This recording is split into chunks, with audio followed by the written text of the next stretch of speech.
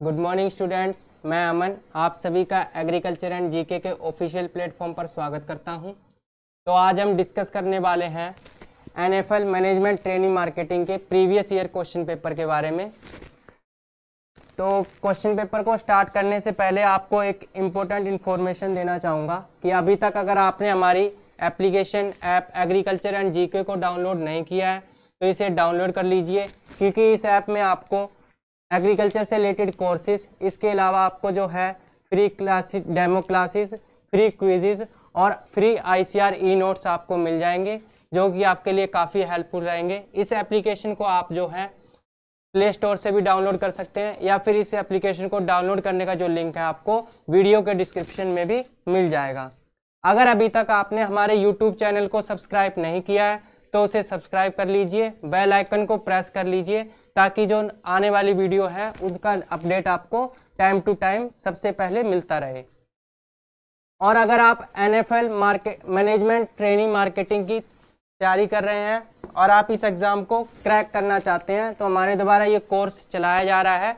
इस कोर्स के अंदर आपको ई बुक मिल जाएँगी, जिनको आप पेंट भी करवा सकते हैं प्लस आपको 20 मॉक टेस्ट मिल जाएँगे। इसके अलावा आपको प्रीवियस ईयर क्वेश्चन पेपर और जीके ई बुक्स और डेली करंट अफेयर है जो आपको व्हाट्सएप ग्रुप के द्वारा आपको प्रोवाइड करवाया जाएगा। साथ ही साथ जो है आपको इंटरव्यू गाइडेंस भी दी जाएगी। इस कोर्स की जो प्राइस है वो सिर्फ़ five hundred ninety nine rupees है। अगर आप इस कोर्स को परचेज करना चाहते हैं तो आप हमारे वीडियो के डिस्क्रिप्शन में आपको इसके परचेजिंग का लिंक मिल जाएगा। इसके अलावा आप जो है हमारी website agriculture G K dot in से भी इसको परचेज कर सकते हैं। अगर आपकी किसी भी प्रकार की कोई क्वेरी है तो वो भी आप हमें कर सक कॉन्टैक्ट कर सकते हैं। कॉन्टैक्ट करने का जो लिंक है आपको वीडियो के डिस्क्रिप्शन में दे दिया जाएगा। तो चलिए स्टार्ट करते हैं आज की जो क्लास है। स्टार्ट क्लास को स्टार्ट करने से पहले एक इन्फॉर्मेशन आपको बेसिक इन्फॉर्मेशन इसको क्वेश्चन पेपर की देना चाहूँगा। इस क्वेश्चन पेपर के अंदर जो है टोटल आपके 150 क्वेश्चन आएँगे और टाइम पीरियड जो आएगा आपके पास 120 मिनट्स यानी कि टू आवर्स आपके पास क्या होगा? टाइम पीरियड होगा। इन 150 क्वेश्चन में से आपके पास जो है 50 क्वेश्चन तो जो आपके हैं, जनरल अवेयरनेस या फिर जो जनरल नॉलेज के बेस पे आएँगे और उसके अलावा जो है आपका क्वांट और रीजनिंग होगा, ठीक है? और इंग्लिश ग्रामर होगी, ठीक है? इंग्लिश ग्रामर होगी। और इसके अलावा जो आपके हंड्रेड क्वेश्चन हैं, वो आपके सब्जेक्ट बेस पे होंगे, ठीक है? हंड्रेड क्वेश्चन जो है आपके सब्जेक्ट बेस पे होंगे। तो आज की जो क्लास है हमारी वो जो हम हंड्रेड क्वेश्चन जो सब्जेक्ट के बेस पे हमारे, उनको हम डिस्कस करने वाले हैं। तो चलिए स्टार्ट करते हैं आज की क्लास। जो हमारा पहला क्वेश्चन है, क्वेश्चन नंबर 51 ठीक है? इससे पहले के जो 50 क्वेश्चन हैं, वो आपके जीएस या फिर इंग्लिश ग्रामर, क्वांट और रीजनिंग से पूछे जाएँगे। हम यहाँ पर आज जो है, सब्जेक्ट के क्वेश्चन है, जो टेक्निकल पोर्शन है, उसको डिस्कस करने वाले हैं। पहला क्वेश्चन है आपके पास इक्री सेट डील विद ठीक है? इक्री सेट किसके साथ डील करता है? मतलब इसके मतलब कि किसके ऊपर जो है इक्री सेट के अंदर रिसर्च की जाती है। पहला ऑप्शन है आपके पास मिलेट्स दूसरा ऑप्शन है आपके पास वीट तीसरा ऑप्शन है आपके पास मेज एंड चौथा ऑप्शन है आपके पास कॉटन ठीक है? ये आपके चार ऑप्शन हैं। देखिए इक्री सेट की अगर इसको फुल फॉर्म इसकी फुल फॉर्म क्या होती है? International international crop research centre international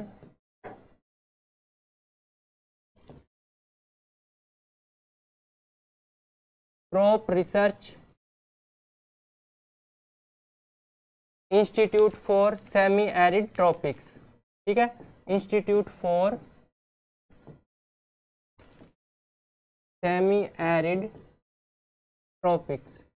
जो कि आपका किस ईयर में इस्टेब्लिश किया गया था? 1972 के अंदर इस्टेब्लिश किया गया था आपका कहाँ पर? हैदराबाद के अंदर। कहाँ पर इस्टेब्लिश किया गया था? हैदराबाद के अंदर। ठीक है?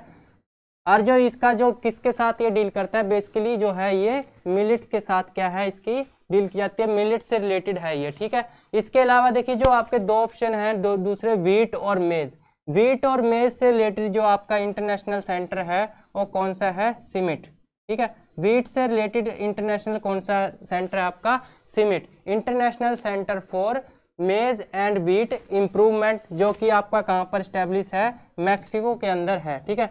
मैक्सिको के अंदर है और इसकी जो स्टैब्लिशमेंट है वो कब की गई थी? 1966 के अंदर की गई थी। 1966 के अंदर की गई थी। तो इसका राइट आंसर क्या है? इसका राइट आंसर है आपका ऑप्शन ए मिलेट ठीक है? चलते हैं नेक्स्ट क्वेश्चन की ओर। नेक्स्ट क्वेश्चन है हमारा। म्यूटेशन आर, ठीक है? Mutations are rarely useful always useful mostly useful या फिर ऑलवेज हार्मफुल देखिए, म्यूटेशंस क्या होते हैं? म्यूटेशन होता है अपना सडन हेरिटेबल चेंज ठीक है? सडन हेरिटेबल चेंज म्यूटेशन होता है आपका सडन हेरिटेबल चेंज इसके अंदर? ऑर्गेनिज्म के अंदर, या फिर प्लांट होगा या फिर एनिमल होगा, उसके अंदर क्या होता है? सडन हेरिटेबल चेंज होता है। गुड मॉर्निंग भाई गुड मॉर्निंग सभी स्टूडेंट को। ठीक है? सडन हेरिटेबल चेंज क्या कहलाता है? म्यूटेशंस कहलाता है। और जो आपकी ये म्यूटेशन टर्म है, ये सबसे पहले किसने दी थी? म्यूटेशन टर्म है जो आपके साइंटिस्ट थे हुगो डी वेरिज उन्होंने क्या है, इस टर्म को दिया था, किस ईयर में दिया था? 1990 के अंदर। ठीक है? 1990 के अंदर उन्होंने ये टर्म दी थी। तो देखिए, जो म्यूटेशंस होते हैं, सडन हेरिटेबल चेंजेस होते हैं, ये जनरली क्या होते हैं? हार्मफुल होते हैं। मोस्टली ये क्या होते हैं? हार्मफुल होते हैं। लेकिन कुछ एक म्यूटेशन जो होते हैं, कुछ परसेंट म्यूटेशन जो होते हैं, वो क्या होते हैं? यूजफुल होते हैं, रेयरली यूजफुल होते हैं। तो इसका राइट right आंसर क्या है? रेयरली यूजफुल, ठीक है? कुछ म्यूटेशंस क्या हैं आपके? रेयरली यूजफुल होते हैं ऑलवेज हार्मफुल नहीं होते। ऑलवेज हार्मफुल नहीं होते मोस्टली क्या होते हैं हार्मफुल होते हैं, लेकिन ऑलवेज हार्मफुल नहीं होते। इसके अलावा म्यूटेशन का देखिए, एक दो करेक्टरिस्टिक और है। ये क्या होते हैं रिकूरेंट नेचर के होते हैं, ठीक है? रिकूरेंट नेचर के होते हैं मतलब कि क्या है, कि जो से, एक म्यूटेशन जो अगर आपको अभी देखने को मिला है, वो सेम म्यूटेशन क्या हो सकता है रिपीट हो सकता है। सेम म्यूटेशन आपका क्या है रिपीट हो सकता है। और जिन और जो म्यूटेशंस को क्रिएट करते हैं, ठीक है? जो केमिकल्स या फिर क्या है, जो फ़िज़िकल या फिर केमिकल जो एजेंट हैं, जो कि क्या करते हैं, म्यूटेशन को क्रिएट करते हैं, उनको हम क्या कहते हैं? उनको हम बोलते हैं म्यूटाजेंस उनको हम क्या बोलते हैं? उनको हम बोलते हैं म्यूटाजेंस अब ये म्यूटाजेंस होते हैं आपके क्या हैं? फ़िज़िकल, ठीक है? आपके फ़िज़िकल भी हो सकते हैं और फिर केमिकल भी हो सकते हैं। दो टाइप के हो सकते हैं आपके, फ़िज़िकल म्यूटाजेंस भी हो सकते हैं और केमिकल म्यूटाजेंस भी हो सकते हैं, ठीक है? केमिकल म्यूटाजेंस भी आपके हो सकते हैं। अब देखिए, फ़िज़िकल म्यूटाजेंस के अंदर कौन से आते हैं? फ़िज़िकल म्यूटाजेंस के अंदर मतलब कि जनरली जो आपकी है, रेडिएशंस जो होती हैं, जो कि क्या करती है? म्यूटेशन को इंड्यूस करती हैं और यूज़ की जाती हैं। अब जो फ़िज़िकल म्यूटाज, जो फ़िज़िकल म्यूटाजेंस होते हैं, इनको भी हम टू पार्ट्स में, इनको भी हम क्या है? टू पार्ट्स में सब, टू पार्ट्स में इनको हम क्या कर सकते हैं? सब डिवाइड कर सकते हैं, ठीक है? मैं इधर ऊपर लिख रहा हूँ, नीचे स्पेस है नहीं, नीचे शायद, ठीक है? ये देखिए टू पार्ट्स में हम क्या कर सकते हैं? ठीक है? फ़िज़िकल म्यूटाजेंस होते हैं जो,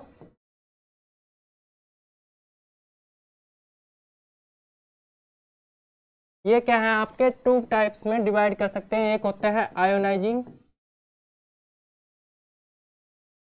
ठीक है? आयोनाइजिंग म्यूटाजेंस के अंदर कौन से आएँगे? जो आपकी ऐसी रेडिएशन जो कि क्या होती हैं? आयोनाइज होती हैं, ठीक है? आयोनाइज होती हैं, जैसे कि एक्स रेज होगी आपकी अल्फ़ा हो गया बीटा हो गया गामा रेज होगी। ये सारी क्या है? आयोनाइजिंग रेडिएशन है और किसके अंदर आती हैं? आपकी फ़िज़िकल म्यूटाजेंस के अंदर आती हैं।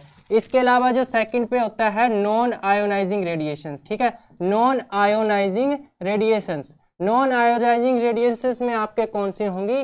जो यूवी रेज होती है। अल्ट्रावायलेट जो रेज होती है आपकी कैसी है? नॉन आयोनाइजिंग रेडिएशन के अंदर आएगा। ये तो क्या हो गया? आपके फ़िज़िकल म्यूटाजेंस हो गए। केमिकल म्यूटाजेंस कौन से होते हैं? केमिकल म्यूटाजेंस होते हैं, जिसके अंदर क्या है आप? केमिकल्स का यूज़ करते हैं। उनके अंदर क्या है? केमिकल्स का यूज़ किया जाता है। जैसे कि आपका क्या हो गया? इथाइल मिथेन सल्फोनेट हो गया, ठीक है? मिथाइल मिथेन सल्फोनेट हो गया, इसके अलावा मैलिक हाइड्राजाइड हो गया, ठीक है? मैलिक हाइड्राजाइड हो गया, इसके अलावा इथीडियम ब्रोमाइड हो गया फाइव ब्रोमो यूरासिल हो गया, ठीक है? फाइव ब्रोमो यूरासिल हो गया या फाइव क्लोरो यूरासिल हो गया, ये सारे के सारे क्या है आपके केमिकल म्यूटाजेंस है, ये सारे के सारे आपके क्या हैं? केमिकल म्यूटाजेंस हैं, ठीक है? नेक्स्ट देखिए इसका तो राइट आंसर क्या होगा स्टूडेंट इसका राइट आंसर होगा रेयरली यूजफुल जो म्यूटेशंस होते हैं क्या, वो रेयरली यूजफुल होते हैं।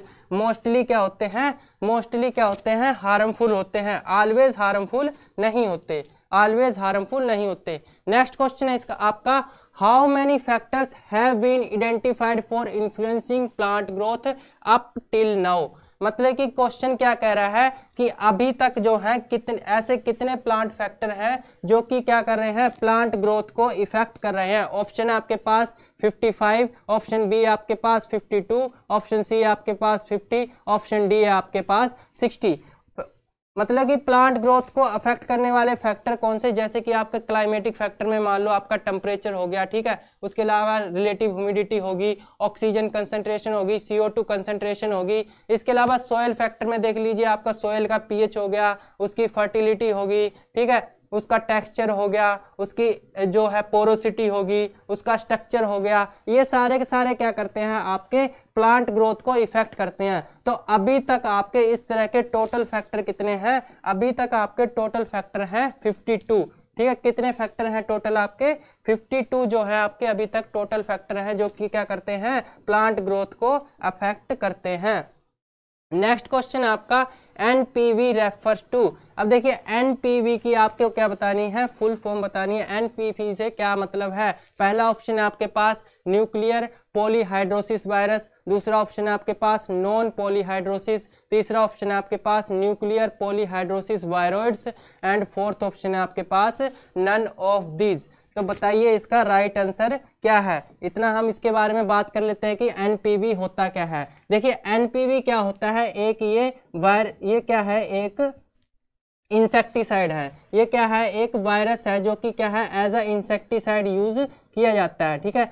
एक इंसेक्टिसाइड है, ये जनरली कौन से इंसेक्ट को कंट्रोल करने के लिए किया जाता है? जो लेपिडोपटेरा फैमिली को, जो लेपिडोपटेरा ऑर्डर के होते हैं लेपिडोपटेरा ऑर्डर के जो इंसेक्ट होते हैं, उनको कंट्रोल करने के लिए जनरली यूज़ किया जाता है। जैसे कि लेपिडोपटेरा में भी आपके जो हैं, कौन सा? स्पोडोपटेरा लुटूरा ठीक है? स्पोडो पटेरा लिटूरा जो कि क्या है आपका? टोबैको कटबोम है, ठीक है? स्पोडोपटेरा लिटूरा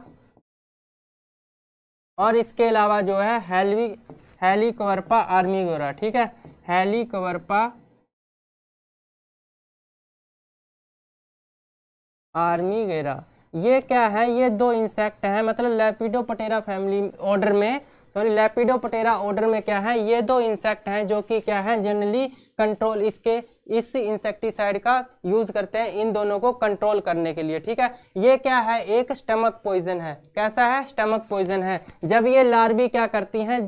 मतलब जिस प्लांट पे ये अप्लाई किया जाता है, वो लार्वी अगर उस प्लांट को खाती हैं तो क्या है, उनके स्टमक में चला जाता है ये पॉइजन और उसके बाद क्या कर देता है, उनकी डेथ कर देता है, ठीक है? तो ये क्या है, एक स्टमक पॉइजन है, जिसकी फुल फॉर्म क्या है आपकी, जो क्या रेफर करता है न्यूक्लियर पोलोहाइड्रोसिस वायरस ठीक है? न्यूक्लियर पोलोहाइड्रोसिस वायरस तो इसका राइट आंसर क्या है आपका? इसका राइट आंसर आपका ऑप्शन ए ठीक है? ऑप्शन ए इसका राइट आंसर है। नेक्स्ट क्वेश्चन देखिए which among this is not an inorganic matter ठीक है, इनमें से ऑर्गेनिक मैटर कौन सा नहीं है? पहला ऑप्शन आपके पास मैग्नीशियम ठीक है? दूसरा ऑप्शन है आपके पास फैट तीसरा ऑप्शन आपके पास आयरन चौथा ऑप्शन है आपके पास आयोडीन तो देखिए जो ये पहले मैग्नीशियम आयो आयरन और आयोडीन ये क्या है आपके? इनऑर्गेनिक हैं। ये आपके कैसे नेचर के हैं? इनऑर्गेनिक नेचर के हैं।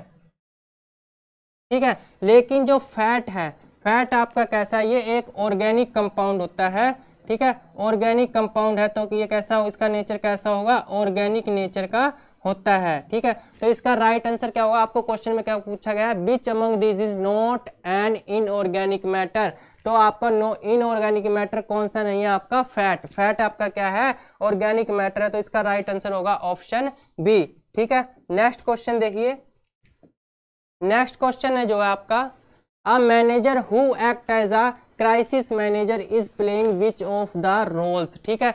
जो क्राइसिस मैनेजर है, उसका रोल्स क्या होता है? ठीक है? वो बताना है आपको। पहला ऑप्शन आपके पास रिसोर्स एलोकेटर दूसरा ऑप्शन आपके पास एंटरप्रेन्योर तीसरा ऑप्शन आपके पास नेगोशिएटर चौथा ऑप्शन आपके पास डिस्टर्बेंस हैंडलर तो देखिए मैनेजर क्या होता है? मैनेजर क्या करता है? मैनेजर आपका होता है, पहले देखिए मैनेजमेंट। मैनेजर को समझने से पहले हम करते हैं, मैनेजमेंट को समझते हैं।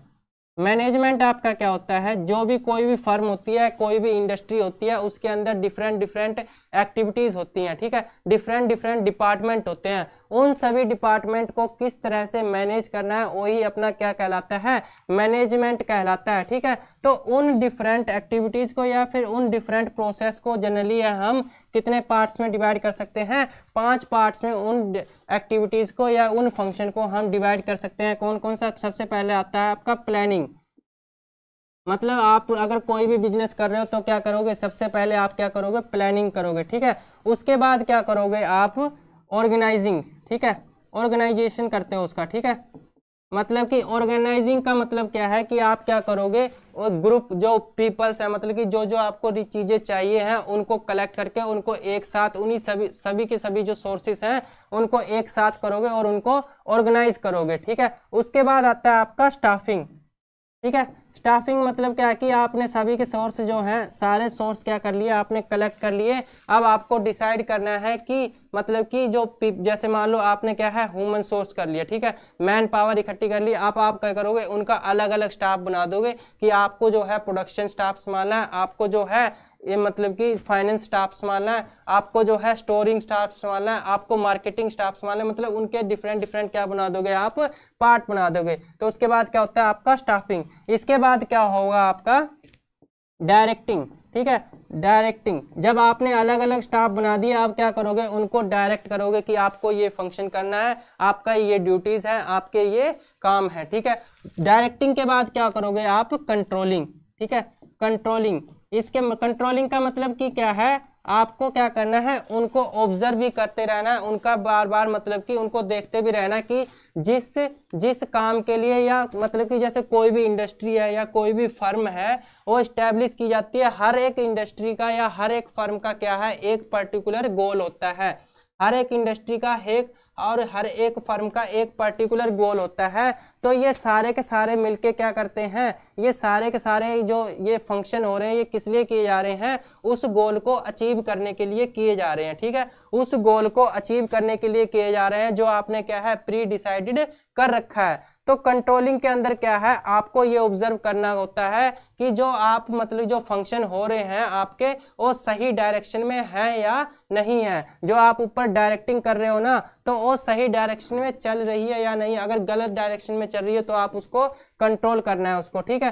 तो मैनेजमेंट क्या होता है? ये पाँचों के पाँचों जो फ़ंक्शन है, इनको मैनेज करना। इनको मैनेज करना ही क्या कहलाता है? आपका मैनेजमेंट कहलाता है। मतलब कि planning organising staffing directing controlling इन पाँचों के पाँचों को मैनेज करना ही आपका क्या कहलाता है? मैनेजमेंट कहलाता है। और जो पर्सन इसको मैनेज करता है, उसको हम क्या कहते हैं? उसको कहते हैं मैनेजर जो पर्सन मैनेजमेंट प्रोसेस को करता है, उसको क्या कहते हैं हम? मैनेजर अब ये मैनेजर भी क्या है? डिफरेंट डिफरेंट टाइप के हो सकते हैं, ठीक है?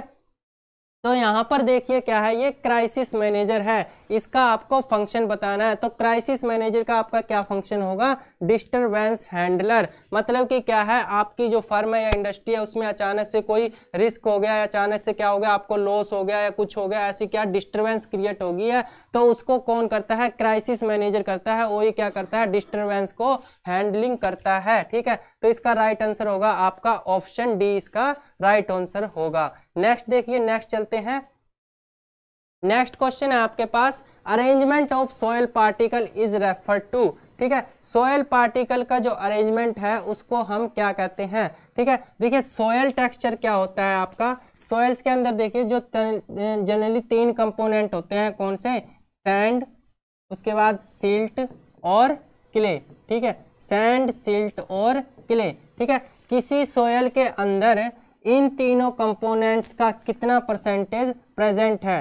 कितना परसेंटेज प्रेजेंट है, उसको हम क्या कहते हैं? उसको कहते हैं हम सोयल टेक्सचर ठीक है? मतलब कि सैंड कितने परसेंट है सिल्ट कितने परसेंट है और क्ले कितने परसेंट है, उसको हम क्या कहते हैं? उसको कहते हैं हम सोयल टेक्सचर सोयल स्ट्रक्चर क्या होता है? सोयल स्ट्रक्चर होता है कि जो सैंड सिल्ट और किले हैं, इनका अरेंजमेंट किस हिसाब से है? इनका अरेंजमेंट किस हिसाब से है? सोयल के अंदर वही क्या कहलाता है अपना? सोयल स्ट्रक्चर कहलाता है। उसको हम क्या कहते हैं? सोयल स्ट्रक्चर कहते हैं। अब देखिए सोयल स्ट्रक्चर है, ये डिफरेंट टाइप के हो सकते हैं। सोयल स्ट्रक्चर जो है आपके डिफरेंट टाइप के हो सकते हैं, ठीक है? कौन कौन से? सबसे पहले जो आपका आता है, देखिए, सबसे पहले जो है सोयल स्ट्रक्चर सबसे पहले आपका कौन सा आता है? प्लेट लाइक स्ट्रक्चर ठीक है? Plate like plate like structure आपके कैसे होते हैं? प्लेट लाइक जो है, जो आपके फिर से दो भाग में डिवाइड कर सकते हो आपको। प्लेटी और लेमिनार ठीक है? प्लेटी और लेमिनार प्लेट लाइक स्ट्रक्चर कैसे होते हैं? प्लेट लाइक में क्या होगा कि जो आपकी होरिजेंटल है, जो आपकी क्या है? सोयल की होरिजेंटल जो है, वो क्या होगी?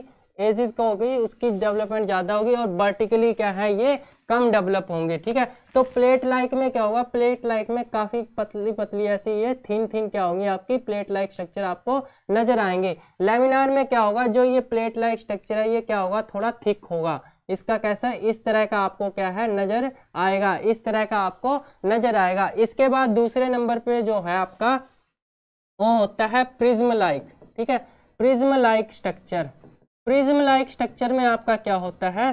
प्रिज्म लाइक स्ट्रक्चर को भी आप दो पार्ट में डिवाइड कर सकते हैं। एक होता है आपका कोलुमनार, उसके बाद होता है दूसरा आपका, ठीक है? एक होता है आपका कोलुमनार। इसके अंदर क्या होता है? देखिए, जो आपका प्रिज्म, जो प्रिज्म लाइक स्ट्रक्चर है, इसके अंदर क्या होगा कि जो आपकी वर्टिकल, जो आपकी वर्टिकल लेंथ है, उसकी क्या होगा? उसका डेवलपमेंट ज़्यादा होगा। वर्टिकल लेंथ का डेवलपमेंट ज़्यादा होगा। इसके अंदर क्या होता है? जो आपके ऐसे वर्टिकल लेंथ में आपको नज़र आएँगे और जो आपका ये शेप है, ठीक है? यहाँ पर क्या होगा? आपको एजिस प्रॉपर शेप देखने को मिलेगी शार्प एजिस देखने को मिलेंगी, ठीक है? शार्प एजिस देखने को आपको इस तरह का जो है आपको स्ट्रक्चर देखने को मिलेगा, ठीक है? नेक्स्ट होता है आपका नेक्स्ट है आपका प्रिज्म लाइक हो गया, उसके बाद ब्लॉक लाइक स्ट्रक्चर ठीक है? ब्लॉक लाइक स्ट्रक्चर के अंदर क्या होता है? बेसिकली ब्लॉक लाइक स्ट्रक्चर के अंदर जो होगा, आपका क्या होगा कि इसके अंदर जो है हॉरिजॉन्टल और वर्टिकल डायरेक्शन क्या होंगी? आपकी इक्वल होगी। हॉरिजॉन्टल और वर्टिकल डायरेक्शन क्या होगी? आपकी इक्वल होगी। ब्लॉक लाइक कैसे होता है? एंगुलर और सब एंगुलर ठीक है? एंगुलर ब्लॉकी और सब एंगुलर ब्लॉकी एंगुलर ब्लॉकी में क्या होगा कि जो आपकी एजेस होंगी ओके वो तो क्या होंगी? थोड़ी मुड़ी हुई होंगी मतलब इतनी शार्प नहीं होंगी, लेकिन जो आपका यहाँ पर जो यहाँ पर कॉर्नर है, ये क्या होंगे? बिल्कुल शार्प होंगे आपके। कॉर्नर कैसे होंगे? आपके बिल्कुल शार्प होंगे। लेकिन जो सब एंगुलर होगा, उसके अंदर क्या होगा कि जो आपकी एजेस हैं, वो भी राउंड में होंगी लगभग, और जो आपका कॉर्नर है, वो भी क्या होंगे? राउंड में होंगे। फोर्थ पे आता है आपका स्पीयर लाइक स्ट्रक्चर ठीक है? फोर्थ पे आता है आपका sphere like structure sphere like structure में जनरली क्या होते हैं? स्पीयर लाइक स्ट्रक्चर भी देखिए दो होते हैं ग्रेनुलर और क्रम्बी। ग्रैनुलर और क्रम्बी, जो आपको एग्रीकल्चर के बेसिस पे जो सबसे बेस्ट स्ट्रक्चर माना जाता है आपका। एग्रीकल्चर के लिए जो सबसे बेस्ट स्ट्रक्चर माना जाता है, वो कौन सा होता है? क्रम्बी स्ट्रक्चर क्या है? सबसे बेस्ट आपका माना जाता है। इसके अलावा जो सेकंड नंबर पे आता है, उसको कौन सा स्ट्रक्चर होता है? ग्रैनुलर स्ट्रक्चर जो होता है, सबसे बेस्ट आपका एग्रीकल्चर पर्पज से माना जाता है। तो ये हो गया आपका स्ट्रक्चर का डिफरेंट स्ट्रक्चर का क्लासिफिकेशन सोयल स्ट्रक्चर का क्लासिफिकेशन ठीक है? तो आपका इसका राइट आंसर क्या है? अरेंजमेंट क्या होता है? अरेंजमेंट को हम क्या कहते हैं? सोयल स्ट्रक्चर कहते हैं। अरेंजमेंट को हम क्या कहते हैं? सोयल स्ट्रक्चर कहते हैं। नेक्स्ट देखिए नेक्स्ट है आपका the ability to exert influence is called as ठीक है? Ability to exert influence is called as उसको हम क्या कहते हैं? लीडरशिप कहते हैं, या फिर अथॉरिटी कहते हैं, या फिर एडमिनिस्ट्रेशन कहते हैं, या फिर पावर कहते हैं। तो इसका राइट right आंसर क्या है? इसका राइट right आंसर है आपका ऑप्शन बी ठीक है? उसको क्या कहते हैं हम? अथॉरिटी कहते हैं। उसको हम क्या कहते हैं? अथॉरिटी कहते हैं। ठीक है? नेक्स्ट क्वेश्चन देखिए। नेक्स्ट क्वेश्चन जो है आपका natural forest are being taken care of by professionals of, ठीक है? जो नेचुरल फॉरेस्ट होते हैं, उनकी कौन टेकर मतलब कि उनकी टे, टेक केयर टेक केयर कौन करता है? पहला ऑप्शन आपके पास हॉर्टिकल्चर दूसरा ऑप्शन आपके पास फॉरेस्ट्री तीसरा ऑप्शन आपके पास फ़ार्मिंग और चौथा ऑप्शन आपके पास एग्रीकल्चर। तो देखिए जो नेचुरल फॉरेस्ट होते हैं उनकी टे, टेकन केयर कौन करता है आपका? उनकी टेकन केयर करता है फॉरेस्ट्री ठीक है? उनकी टेकन केयर कौन करता है? फॉरेस्टर जो होते हैं वो करते हैं। इसका राइट आंसर क्या होगा आपका? ऑप्शन ऑप्शन बी ठीक है? नेक्स्ट क्वेश्चन है आपका the point at which the customer enter the supply chain is called as मतलब कि आपकी जो सप्लाई चेन होती है ना, कि जहाँ प्रोडक्शन से लेके प्रोडक्शन होने के बाद जब आपका प्रोडक्ट बन जाता है तो फर्म से जब उसको कंज्यूमर तक पहुँचाया जाता है तो जब उस चेन के अंदर क्या है, जब कस्टमर एंटर करता है, उस चेन के अंदर क्या है कस्टमर एंटर करता है तो उसको क्या कहते हैं? पहला ऑप्शन है आपके पास कस्टमर पेनिट्रेशन पॉइंट या फिर सेकंड ऑप्शन है आपके पास order penetration point third third option है आपके पास कस्टमर एंट्री पॉइंट और फोर्थ ऑप्शन है आपके पास नन ऑफ़ दीज इनमें से कोई भी नहीं नन ऑफ़ दीज बताइए क्या राइट आंसर है इसका? तो देखिए इसका राइट right आंसर है, उसको हम कहते हैं ऑर्डर पेनिट्रेशन पॉइंट ठीक है? ऑप्शन बी क्या है इसका? राइट right आंसर है। ऑप्शन बी क्या है इसका? राइट right आंसर है। उसको हम कहते हैं order penetration point next question है आपका। What resources is a manager mainly concern with ठीक है? मैनेजर जो है मेनली कौन से रिसोर्सिस से कंसर्न करता है? मतलब कि किसको मेनली उससे लेना देना होता है? किसको वो मेनली मैनेज करता है? पहला ऑप्शन आपके पास लैंड दूसरा ऑप्शन आपके पास रॉ मटेरियल तीसरा ऑप्शन आपके पास बिल्डिंग चौथा ऑप्शन आपके पास पीपल तो बताइए मैनेजर जो है जो जनरली किससे कंसर्न रखता है? मैनेजर जो जनरली है, किससे कंसर्न रखता है? तो देखिए, जो मैनेजर क्या है? मैनेजमेंट वर्ड को देखिए। मैनेजमेंट वर्ड को आप ध्यान से देखिए। मैनेजमेंट जो वर्ड है, वो अपने आप ही, अपने आप ही बोल रहा है कि मैं किससे लेना देना रखता हूँ। कि अपने आप ही ये बोल रहा है कि मैं किससे लेना देना रखता हूँ। मैनेज मैन, ठीक है? मैनेज, ये कैसे बना हुआ है आपका? Manage plus man plus T, ठीक है? टी का मतलब है यहाँ टैक्टफुली ठीक है?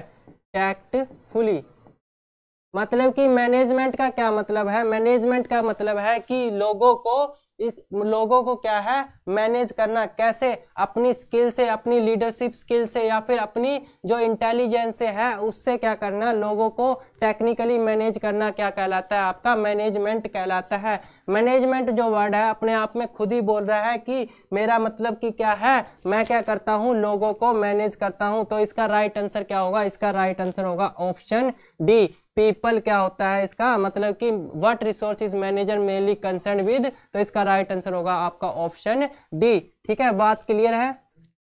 नेक्स्ट देखिए नेक्स्ट क्वेश्चन आपका irradiation is also known as irradiation को हम और क्या कहते हैं, ठीक है? Irradiation is also known as तो देखिए, पहला ऑप्शन आपके पास हॉट स्टरलाइजेशन सेकंड ऑप्शन है आपके पास पास्केलाइजेशन थर्ड ऑप्शन है आपके पास cold sterilisation and fourth option है आपके पास नन ऑफ़ दीज तो देखिए हॉट स्टरलाइजेशन के अंदर जनरली क्या है?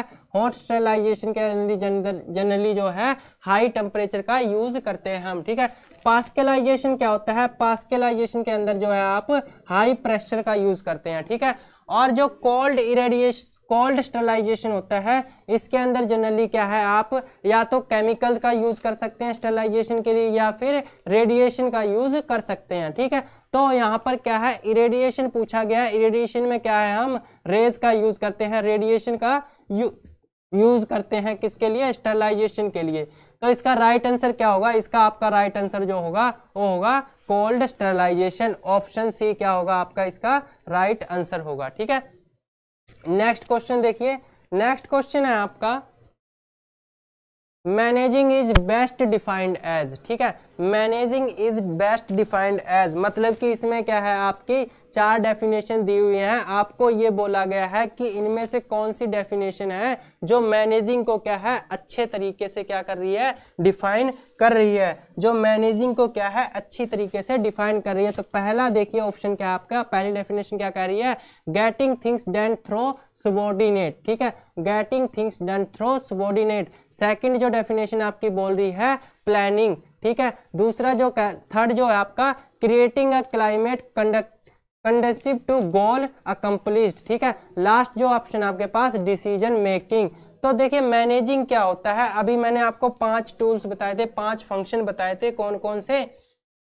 पहला फ़ंक्शन था आपका प्लानिंग दूसरा फ़ंक्शन था आपका ऑर्गेनाइजिंग तीसरा था ऑप्शन था आपके पास, तीसरा क्या था? स्टाफिंग उसके बाद था आपका डायरेक्टिंग और फिर था आपके पास कंट्रोलिंग तो मैनेजिंग मतलब कि इन पाँचों पाँच, इन पाँचों फ़ंक्शन को जो आपको मैनेज किस लिए करते हैं, इस तरह से मैनेज किया जाता है ताकि जो है फर्म का या फिर इंडस्ट्री का जो एनवायरनमेंट कैसा हो इंडस्ट्री का एनवायरनमेंट आपका इस तरह का हो जाए कि आपका जो प्री डिसाइडेड गोल्स आपने जो है मतलब कि जो ऑब्जेक्टिव या जो गोल आपने बना रखे हैं, उनको क्या कर सको आप अचीव कर लो। तो उनको क्या कर लो आप अचीव कर लो। तो इसका राइट आंसर क्या होगा? मतलब मैनेजिंग जो है, उसको जो यहाँ पर प्रॉपर जो डिफाइन कर रही है, वो ये वाली डेफिनेशन क्या कर रही है? प्रॉपर डिफाइन कर रही है। Creating a climate conducive to goal accomplish मतलब कि इस तरह का क्लाइमेट क्रिएट करना है, जिससे आप क्या करो, जो आपका प्री डिसाइडिंग गोल है, उसको अचीव कर लो। प्री डिसाइडिंग गोल को आप अचीव कर लो तो ऑप्शन सी आपका क्या है? राइट right आंसर है। नेक्स्ट क्वेश्चन आपका which stage of the decision making process help the manager in locating the problem मतलब कि इनमें से कौन सी स्टेज है जो कि क्या करती है? मैनेजर की हेल्प करती है प्रॉब्लम को क्या? प्रॉब्लम को क्या? आइडेंटिफाई करने के लिए, ठीक है? प्रॉब्लम को आइडेंटिफाई करने के लिए हेल्प करती है। तो देखिए, पहला ऑप्शन आपके पास इंटेलिजेंस स्टेज पहला ऑप्शन है आपके पास इंटेलिजेंस स्टेज दूसरा ऑप्शन है आपके पास सिलेक्शन स्टेज तीसरा ऑप्शन है आपके पास डिज़ाइन स्टेज चौथा ऑप्शन है आपके पास इम्प्लीमेंटेशन स्टेज तो देखिए कौन सी स्टेज है वो? प्रॉब्लम को डिसाइड करने के लिए प्रॉब्लम को डिटेक्ट करने के लिए जो है आपकी कौन सी इंटेलिजेंस स्टेज क्या है? हेल्प करती है. कौन सी स्टेज हेल्प करती है आपकी? इंटेलिजेंस स्टेज जो है वो हेल्प करती है. ठीक है? नेक्स्ट क्वेश्चन है आपका the type of animal tissue include ठीक है? ये चार टाइप के आपके टेस्ट टिश्यू दिए गए हैं। चार टाइप के आपके टिश्यू दिए गए आपको बताना है कि इनमें से एनिमल टिश्यू के अंदर कौन सा इंक्लूड है, ठीक है? एपिडर्मल टिश्यूज सेकंड ऑप्शन आपके पास मस्कुलर टिश्यू थर्ड ऑप्शन आपके पास सिंथेटिक टिश्यू फोर्थ ऑप्शन आपके पास ग्राउंड टिश्यू तो देखिए इसमें से जो राइट आंसर है, इसका वो है मस्कुलर टिश्यू जो मस्कुलर टिश्यू है आपके, वो किसके होते हैं? एनिमल टिश्यू के अंदर इंक्लूड होते हैं. एनिमल टिश्यू के अंदर क्या है? इंक्लूड होते हैं. ऑप्शन बी क्या है आपका? इसका राइट आंसर है. ऑप्शन बी क्या है? इसका राइट आंसर है. ठीक है? नेक्स्ट क्वेश्चन देखिए. नेक्स्ट क्वेश्चन आपका supply chain lead time is the sum of the time taken for supply chain lead time is the sum time of ठीक है? देखिए सप्लाई चेन क्या होती है और लीड टाइम का क्या मतलब है? सप्लाई चेन का मतलब क्या है कि आपकी एक फर्म है, इंडस्ट्री आपने प्रोडक्ट बना लिया है, जैसा कि आपको डिमांड आया था, जैसा कि आपको ऑर्डर आया था, ठीक है, या फिर ऑर्डर वगैरह नहीं भी आया, आपको क्या करना है, उसको अब कस्टमर तक पहुंचाना है। तो कस्टमर तक पहुँचाने के लिए आप क्या करोगे, उसको उसको वहाँ तक भेजोगे, ट्रांसपोर्टेशन करोगे तो उसमें क्या है डिफरेंट एक्टिविटीज़ इन्वॉल्व होती हैं और डिफरेंट लोग्स जो होते हैं, उसके अंदर इन्वॉल्व होते हैं, किसके अंदर? सप्लाई चेन के अंदर। तो लीड टाइम का मतलब क्या है लीड टाइम का मतलब की है, जैसे कि आपकी एक फर्नीचर की इंडस्ट्री है, ठीक है? आपकी एक फर्नीचर की इंडस्ट्री है और आपको ऑर्डर मिला कि हमको क्या है, सौ, आपको ऑर्डर मिला कि हमें क्या है, सौ अलमीरा चाहिए। आपको ऑर्डर मिला, हमें सौ अलमीरा चाहिए। आप क्या कहोगे? आप उसको कहोगे कि भाई, अभी हमारे स्टोर में जो है, सौ अलमीरा बनी हुई नहीं है। आप ऑर्डर दे दीजिए और आपको जो है, इतने दिनों बाद क्या है, आपको ऑर्डर मिल जाएगा। मान लो आपने वन वीक का उससे टाइम मांग लिया। जो आपने वन वीक का उससे टाइम मांगा है ना, वही आपका क्या कहलाता है? लीड टाइम कहलाता है। जो आपने उससे वन वीक का टाइम मांगा है, वही आपका क्या कहलाता है? लीड टाइम कहलाता है। मतलब लीड टाइम आपका क्या है? कि ऑर्डर आने से जब आपको ऑर्डर मिलता है, उस टाइम से लेके जब आपका ऑर्डर उस तक पहुँचाया जाता है, उस टाइम के बीच का जो गैप होता है, उसको आप क्या कहते हो? उसको लीड टाइम कहते हो। और ये लीड टाइम आप किस लिए मांगते हो? ये लीड टाइम आप किस लिए मांगते हो? इस क्वेश्चन में यही पूछा गया है कि supply chain lead time is the sum of time taken for मतलब कि सप्लाई चेन के अंदर जो आप लीड टाइम मांगते हो, वो किस लिए होता है? पहला ऑप्शन है आपके पास sourcing the material second option आपके पास manufacturing the product third option है आपके पास delivering the finished product to the end customer third और फोर्थ ऑप्शन है आपके पास ऑल ऑफ़ दीज तो देखिए, इसका जो पहला क्या है? जो आपने लीड टाइम मांगा, पहला बोल रहा है जो ऑप्शन आपका सोर्सिंग द मटेरियल अब आपके गोडाउन में क्या है मटेरियल अवेलेबल नहीं है तो आप क्या करोगे, उस मटेरियल को परचेज करके लाओगे. रॉ मटेरियल तो आपको परचेज करना पड़ेगा ना तो उसके लिए आपने टाइम मांगा. बिल्कुल ठीक है. मैन्युफैक्चरिंग द प्रोडक्ट आपको उसको प्रोडक्ट को मैन्युफैक्चर करना है तो ये भी उसके अंदर इंक्लूड होगा. ऑप्शन बी भी आपका ठीक है. Delivering the finished product to the end customer अब उस जो जो प्रोडक्ट आपने बना दिया, उसके ऑर्डर को कंप्लीट कंप्लीट कर दिया। उसको कस्टमर तक पहुँचाने के लिए भी तो आप टाइम मांगोगे ना। मान लो आपका प्रोडक्ट आज मिल गया, आप डिलीवर करोगे तो दो दिन, तीन दिन हो सकता है डिलीवर करने में लग जाए तो वो भी इंक्लूड होगा। तो इस तरह से इस क्वेश्चन का राइट आंसर क्या हो जाएगा आपका? इसका जो राइट आंसर होगा, वो होगा option D all of this क्या होगा? इसका राइट आंसर होगा। ऑल ऑफ़ दिस क्या होगा? इसका राइट आंसर होगा। अब देखिए नेक्स्ट क्वेश्चन क्या है? नेक्स्ट क्वेश्चन आपका where do grasshopper lay eggs जो ग्रास होपर होते हैं, वो अपने अंडे कहाँ पर देते हैं? ग्रास होपर जो होते हैं, वो अपने अंडे कहाँ पर देते हैं? तो देखिए, जो ग्रास होपर होते हैं जनरली वो क्या करते हैं? जैसे आपने फ़ील्ड में देखा होगा, जो ये फ़ील्ड बना हुआ है ना तो जनरली जो ये नॉन प्लोइंग एरिया होता है, जो हार्ड एरियाज़ होते हैं ना, वहाँ पर अपने क्या करते हैं? एग देते हैं और सोयल के अंदर देते हैं। जैसे कि बंडिंग वगैरह होगी, ठीक है? बंडिंग वगैरह पे क्या करते हैं? ये जनरली एग देते हैं और सोयल के अंदर देते हैं। ठीक है? तो इसका राइट आंसर क्या होगा? In the soil in the soil क्या करते हैं? ग्रास ऊपर जो है, अपने एग देते हैं, ठीक है? इन द सोयल क्या है अपने? एग देते हैं। ऑप्शन सी इसका है, क्या इसका राइट आंसर है। नेक्स्ट क्वेश्चन देखिए। Which is a single use plan that cover a relatively large set of activities मतलब कि इनमें से ऐसी कौन सी जो है प्लानिंग है, जो कि क्या कहते हैं, जिसके अंदर बहुत सारी एक्टिविटीज़ इन्वॉल्व होती हैं। पहला ऑप्शन आपके पास रूल दूसरा ऑप्शन आपके पास प्रोग्राम तीसरा ऑप्शन आपके पास प्रोसीजर चौथा ऑप्शन है आपके पास प्रोजेक्ट तो देखिए, इसका राइट आंसर क्या है? इसका राइट आंसर आपका ऑप्शन बी ठीक है? प्रोग्राम क्या है? प्रोग्राम एक ऐसी एक्टिविटी है जिसके अंदर क्या है? लार्ज नंबर की क्या है? लार्ज नंबर एक्टिविटीज़ इन्वॉल्व होती हैं। प्रोग्राम क्या है? एक ऐसा प्लान है जिसके अंदर क्या है? Large number of activities involve होती हैं। ठीक है? नेक्स्ट क्वेश्चन देखिए। Indicator plant for phosphorus deficiency indication is ठीक है? मतलब कि फॉर फॉस्फोरस डेफिशिएंसी के लिए कौन सा प्लांट है वो? इंडिकेटर प्लांट है। आपको ये बताना है। पहला ऑप्शन है मेज दूसरा ऑप्शन है आपके पास टोमेटो, तीसरा ऑप्शन है आपके पास मेज एंड टोमेटो बोथ ठीक है? दोनों। चौथा ऑप्शन है आपके पास नन ऑफ़ दीज ठीक है? तो आप इसका जो आंसर है, इतना कमेंट कीजिए। इसके अलावा जो है, मैं आपको इसके बारे में और बता देता हूँ, जो इम्पोर्टेंट आपके इंडिकेटर प्लांट है। जैसे कि नाइट्रोजन और कैल्शियम के लिए हम क्या यूज़ करते हैं? नाइट्रोजन और कैल्शियम के लिए जो आप कॉलीफ्लोवर या फिर कैबेज कॉलीफ्लावर या फिर कैबेज को क्या है? इंडिकेटर प्लांट के रूप में यूज़ किया जाता है, ठीक है? इसके अलावा देखिए, जो आपका पोटेशियम होता है, पोटेशियम के लिए क्या? पोटैटो, ठीक है? पोटेशियम के लिए क्या है? पोटैटो जो है इंडिकेटर प्लांट है। इसके अलावा देखिए, बोरोन बोरोन के लिए क्या है? सुगर बीट या फिर टर्निप, ठीक है? बोरोन के लिए जो है, सुगर बीट या टर्निप क्या है आपकी? इंडिकेटर प्लांट का ठीक है? इंडिकेटर प्लांट का रोल प्ले करती है। इसके अलावा फॉस्फोरस जो है, उसका जो इंडिकेटर प्लांट एक और है, वो क्या है? मस्टर्ड लेकिन मस्टर्ड क्या है? इस यहाँ पर ऑप्शन में है नहीं है। जो ऑप्शन आपको दिए गए हैं, इनमें से बताइए राइट आंसर क्या है? फॉस्फोरस का इंडिकेटर और प्लांट कौन सा है? मस्टर्ड ठीक है? तो देखिए, इसका राइट आंसर क्या होगा? इसका राइट आंसर होगा आपका ऑप्शन सी ठीक है, इसका राइट आंसर होगा आपका option C maize and tomato दोनों के दोनों क्या हैं आपके? मेज एंड टोमेटो दोनों के दोनों आपके क्या हैं? ऑफ़ मेज और टोमेटो दोनों के दोनों आपके क्या हैं? फोस्फोरस के इंडिकेटर प्लांट हैं। फोस्फोरस के क्या है? इंडिकेटर प्लांट है। ठीक है? नेक्स्ट देखिए नेक्स्ट क्वेश्चन है आपका। In which a common crop which is grown for natural autopolyploid ठीक है? नेचुरल ऑटोपोलिप्लॉइड मतलब कि आपको बताना है कि इनमें से कौन सी क्रॉप है जिसके अंदर क्या है?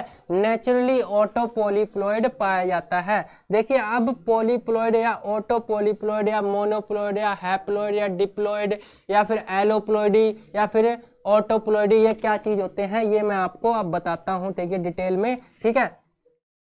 तो इसके क्लासिफिकेशन को आपको मैं दिखाता हूँ। पहले देखिए, एक टर्म होती है जीनोम एक टर्म होती है जीनोम ठीक है? जीनोम का मतलब क्या होता है? जनरली जीनोम का मतलब होता है set of basic chromosome set of basic chromosome ठीक है? सेट ऑफ़ बेसिक क्रोमोजोम जिसको आप किससे रिप्रेजेंट करते हो? एक्स से, या फिर मतलब मतलब स्मॉल एक्स से आप क्या करते हो, उसको रिप्रेजेंट करते हो, ठीक है? अब देखिए क्या है सेट ऑफ़ क्रोमोजोम्स मतलब कि कोई ऑर्गेनिज्म है, कोई प्लांट है, उसके अंदर कितने सेट ऑफ़ क्रोमोजोम्स प्रेजेंट हैं, उसको हम क्या कहते हैं, उसको हम क्या कहते हैं, उसको ही हम कहते हैं क्या? जीनोम कहते हैं। अब जैसे हैप्लॉइड है ठीक है? हैप्लॉइड के अंदर कितने सेट ऑफ़ क्रोमोजोम्स प्रेजेंट होंगे? हैप्लॉइड के अंदर होगा, एक सेट ऑफ़ क्रोमोजोम्स प्रेजेंट होगा। कितने? एक सेट ऑफ़ क्रोमोजोम्स प्रेजेंट होगा। डिप्लॉयड जो डिप्लॉयड होता है, उसके अंदर कितने प्रेजेंट होते हैं? टू सेट प्रेजेंट होते हैं। ठीक है, कितने सेट प्रेजेंट होते हैं? टू सेट प्रेजेंट होते हैं। अगर दो से ज़्यादा प्रेजेंट है, अगर दो सेट से ज़्यादा प्रेजेंट है मतलब कि more than two set present है किसके? जिनोम के तो हम उसको क्या कहते हैं? उसको हम कहते हैं पोलीप्लोइडी। उसको हम क्या कहते हैं? पोलीप्लोइडी। ठीक है, उसको हम क्या कहते हैं? पोलीप्लोइडी। अब ये पोलीप्लोइडी है, इसको क्या है हम ठीक है? इसको हम तीन पार्ट में डिवाइड कर सकते हैं। पहला आपका होता है, पहला आपका होता है एलोप्लोइडी ठीक है? उसके बाद आपका होता है ऑटोप्लोइडी ठीक है? उसके बाद होता है आपका एनुप्लोइडी इसके बाद क्या होता है? एनिप्लोडी पोलीप्लोडी को क्या है? आप एलोप्लोडी, ऑटोप्लोडी और एनोप्लोडी, इनमें तीन पार्ट में डिवाइड कर दिया। अब देखिए, एलोप्लोडी क्या होता है? एलोप्लोडी मतलब होता है कि जो ये सेट ऑफ़ क्रोमोजोम्स है ना, जो number of set of chromosomes हैं, इसके अंदर क्या होंगे? Number of set of chromosomes क्या होंगे? दो से ज़्यादा तो होंगे, लेकिन क्या होंगे? और डिफरेंट स्पीसीज या डिफरेंट जीनस से होंगे। डिफरेंट स्पीसीज या डिफरेंट जीनस से होंगे। जैसे कि एग्ज़ाम्पल क्या है आपका? इसका ट्रीटिकेल ठीक है? एग्ज़ाम्पल क्या है आपका? इसका ट्रीटिकल जो है, इसका एग्ज़ाम्पल है। ट्रीटिकल आपका किससे मिलकर बना है? ट्रीटिकम एस्टिबम और जो स्केल है स्केल सीरियल ट्रीटिकम एस्टिकम और स्केल सीरीज़ के क्रॉस से मिलके बना है क्या? ट्रीटिकम एस्टिकम उसमें क्या है? डिफरेंट जीनस है। डिफरेंट जीनस लिए गए हैं। ऑटोपोलिप्लोडी आपका क्या होता है? ऑटोपोलिप्लोडी होता है मतलब कि जो सेट ऑफ़ क्रोमोजोम्स हैं आपके, ये दो से ज़्यादा तो होंगे मोर देन टू होंगे, लेकिन क्या होंगे? ये सेम स्पीसीज के होंगे। ये क्या होंगे? सेम स्पीसीज के होंगे, ठीक है? तो इसके अंदर देखिए, आपका जनरली जो है ऑटो ट्राइप्लोइडी ठीक है? ऑटो ट्राइप्लोडी और ऑटो टेट्राप्लोइडी ठीक है? क्या है? इसका फर्दर क्लासिफिकेशन किया गया है। जो ऑटो पोलिप्लोइडी है, उसको क्या है? फर्दर डिवाइड किया गया है ऑटो ट्राइप्लोइडी और ऑटो टेट्रापोलोइडी ऑटो ट्राइपोलोइडी के अंदर कौन से आते हैं? जनरली जो आपका वाटरमेलन है स्पिनाच है, ठीक है? ये आपका किसके अंदर आता है? ऑटो ट्राइपोलो ऑटो ट्राइपोलोइडी के अंदर आता है। ऑटो टेट्रापोलोइडी के अंदर कौन सा आता है आपका? जो पोटैटो था, आपका आपका क्या था? ऑटो टेट्राप्लोइडी था। लेकिन आपको क्वेश्चन में सिर्फ़ क्या पूछा गया आपसे सिर्फ़ क्वेश्चन में पूछा गया है कि ऑटो पोलीप्लोइडी, ठीक है? तो इसका आपका राइट आंसर क्या होगा? इसका राइट आंसर होगा आपका ऑप्शन डी, ठीक है? इसका राइट आंसर होगा आपका ऑप्शन डी। जी, रम्या जी बिल्कुल ठीक कह रही है। इसका राइट आंसर क्या होगा आपका? ऑप्शन डी होगा, ठीक है? आपका आंसर बिल्कुल ठीक है। इसका राइट आंसर क्या होगा आपका? ऑप्शन डी होगा। तो चलिए नेक्स्ट आगे की बात कर लेते हैं, जो आपका रह गया था। ऑटोपोलिडरी मैंने बता दिया कि जब आपको दो पार्ट में डिवाइड करते हैं उनका तो क्या होगा? एक होता है ऑटो ट्राइप्लोडी जिसमें के अंदर कौन से आते हैं? आपके स्पिनाच हो गया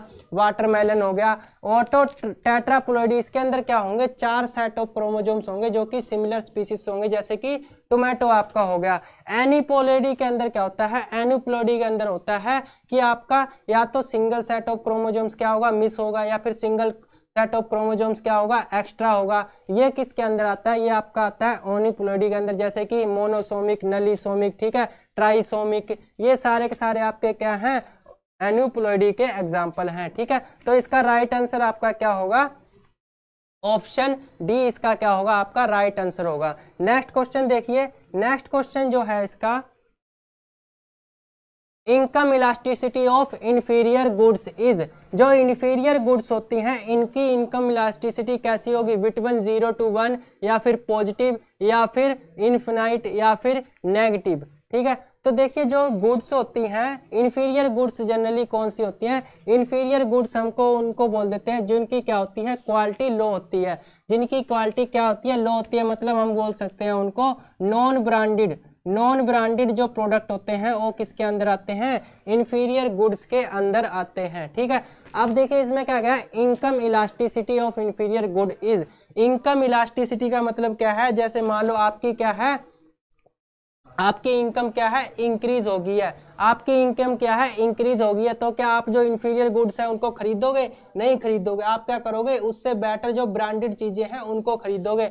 मतलब कि इनकम अगर इनकम आपकी इंक्रीज हो रही है तो जो इंफीरियर गुड्स है, उसकी डिमांड क्या हो रही है? उसकी डिमांड क्या हो रही है? कम हो रही है। मतलब कि क्या? नेगेटिव नेगेटिव रिलेशन है इन दोनों के बीच में तो इसका राइट आंसर क्या होगा? आपका ऑप्शन डी होगा। इसके अलावा यह देखिए, दूसरी कौन सी होती है? लग्जरी लग्जरी गुड्स जो होती हैं लग्जरी गुड्स जो होती हैं, उनके लिए क्या होगा? जो इनकम इलास्टिसिटी होगी, वो कैसी होगी आपकी?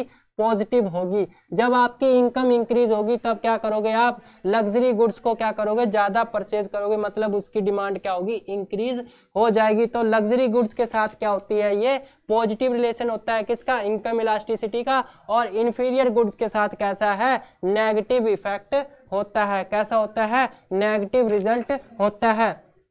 इसके बाद आता है आपका नॉर्मल गुड्स ठीक है? नॉर्मल गुड्स के अंदर क्या है? नॉर्मल गुड्स के अंदर कौन सी आएँगी? डेली यूज़ गुड्स होती हैं।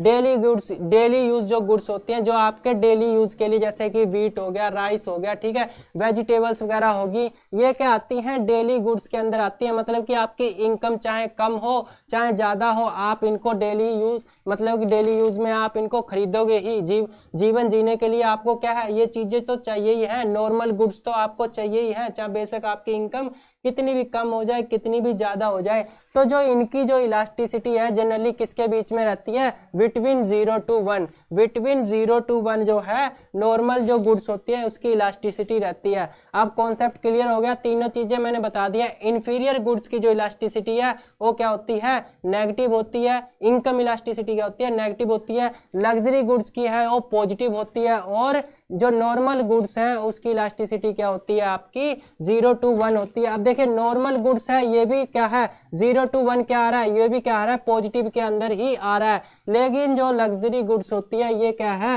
मोर देन वन के ऊपर होगी, ठीक है? इसकी वैल्यू क्या होगी? मोर देन वन होगी। ये बात भी आप ध्यान रखना। तो इसका राइट आंसर क्या होगा? इसका राइट आंसर होगा आपका ऑप्शन डी ऑप्शन डी क्या होगा? इसका राइट आंसर होगा। कुछ बच्चों ने कमेंट भी किया है। फिर से जो है रम्या ने कमेंट किया है। हाँ जी, बिल्कुल ठीक आंसर है आपका। ऑप्शन डी क्या है इसका? राइट आंसर है। नेक्स्ट क्वेश्चन देखिए। What is the most effective attribute of an effective leader ठीक है? इसमें से जो है मोस्ट इफ़ेक्टिव एट्रीब्यूट मतलब कि मोस्ट इफ़ेक्टिव करेक्टर कौन सा है लीडर का? ठीक है? तो आपको बताना है, पहला ऑप्शन आपके पास बिहेवियर दूसरा ऑप्शन आपके पास ड्राइव तीसरा ऑप्शन आपके पास करेक्टर चौथा ऑप्शन आपके पास इन्फ्लुएंस ठीक है? चौथा ऑप्शन आपके पास है इन्फ्लुएंस तो देखिए, इसका राइट आंसर क्या है? इसका राइट आंसर आपका ऑप्शन बी ड्राइव क्या है? मोस्ट इफ़ेक्टिव एट्रीब्यूट है किसका? लीडर का. मोस्ट इफ़ेक्टिव एट्रीब्यूट है किसका? लीडर का. ठीक है? नेक्स्ट क्वेश्चन देखिए. नेक्स्ट क्वेश्चन है आपका three P L stand for जो थ्री पी एल है, उसका मतलब क्या है? थ्री पी एल क्या स्टैंड करता है? पहला जो ऑप्शन है आपके पास वो है आपका थर्ड पार्टी लाइफ दूसरा ऑप्शन है आपके पास थर्ड पार्टी लॉजिस्टिक तीसरा ऑप्शन है आपके पास थर्ड प्रोडक्ट लाइफ चौथा ऑप्शन है आपके पास थर्ड प्रोडक्ट लॉजिस्टिक तो इसका राइट आंसर बताइए, इसका राइट आंसर क्या है आपका? इसका राइट आंसर है जो ऑप्शन बी क्या है इसका? राइट आंसर है थर्ड पार्टी लॉजिस्टिक क्या है इसकी? फुल फॉर्म है ठीक है? थर्ड पार्टी लॉजिस्टिक क्या है ये? टीपीएल का मतलब होता है, ठीक है? थर्ड पार्टी लॉजिस्टिक का मतलब क्या होता है? थर्ड पार्टी लॉजिस्टिक का मतलब होता है आपका थ्री पी एल या थ्री पी एल का मतलब होता है थर्ड पार्टी लॉजिस्टिक अब देखिए the word agronomy has originated from अब आप एक बात देखिए, इसमें जो क्वेश्चन पेपर है, ये प्रीवियस ईयर का क्वेश्चन पेपर है। सारे के सारे क्वेश्चन उसी से लिए गए हैं। ज़्यादा जो है एग्रीकल्चर का जो है मतलब ज़्यादा डीप आपसे नहीं पूछा गया काफ़ी बेसिक बेसिक क्वेश्चन जो है, पूछे गए हैं, ठीक है? जो कि स्टूडेंट क्या करते हैं, ज़्यादा डीप पढ़ लेते हैं तो बेसिक क्वेश्चन ही क्या करते हैं, वो गलत करके आ जाते हैं। तो आपको बेसिक पे भी काफ़ी ध्यान देना है, ठीक है? आपको लोगों को क्या है बेसिक क्वेश्चन पे भी काफ़ी ध्यान देना है। देखिए ये क्वेश्चन क्या कह रहा है कि जो एग्रोनॉमी वर्ड है, वो किस लैंग्वेज का वर्ड है? देखिए एग्रोनॉमी है ये दो लेटर से बन, दो वर्ड से बन के बना है। एग्रोज प्लस नोमोज ठीक है? एग्रोज प्लस नोमोज एग्रोज का मतलब होता है यहाँ पर फ़ील्ड ठीक है? एग्रोज का मतलब होता है फ़ील्ड और नोमोज का मतलब होता है मैनेजमेंट इतना आप कमेंट कीजिए, इसका राइट आंसर क्या है? ठीक है? मैनेजमेंट ठीक है? तो मतलब कि एग्रोज नोमोज का एग्रोनोमी का क्या मतलब हुआ कि ये रहा जाता है जो फ़ील्ड होता है, उसको मैनेज करना। Management of the agriculture field क्या कहलाता है आपका?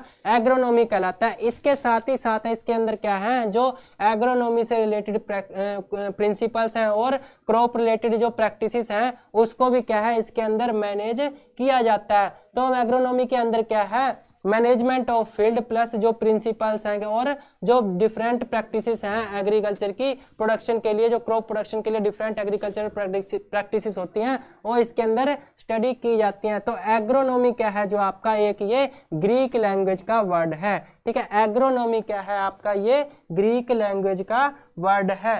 इमरान खान इब्रिया जी बिल्कुल राइट आंसर है आपका, ठीक है? इसका राइट आंसर क्या है? ग्रीक वर्ड ठीक है? ग्रीक लैंग्वेज का ये वर्ड है।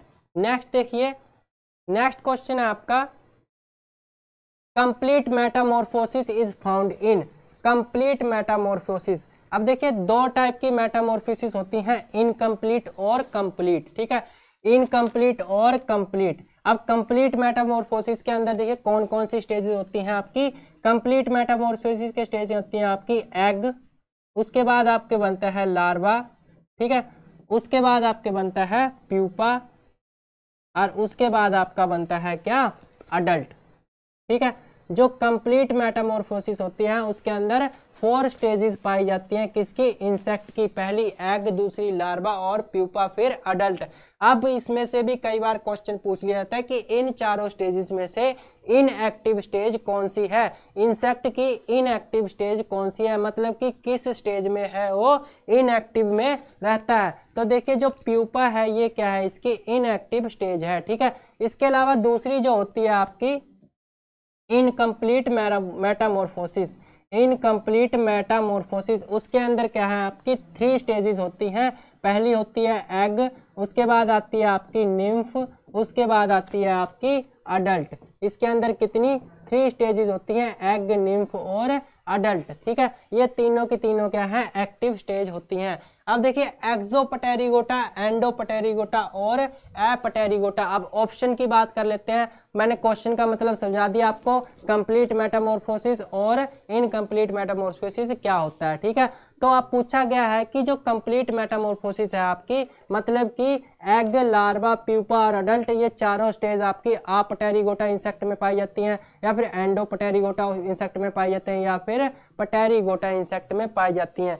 अब देखिए, जो इंसेक्ट का क्लासिफिकेशन है इंसेक्ट का क्लासिफिकेशन है, वो किस बेस पे किया गया है?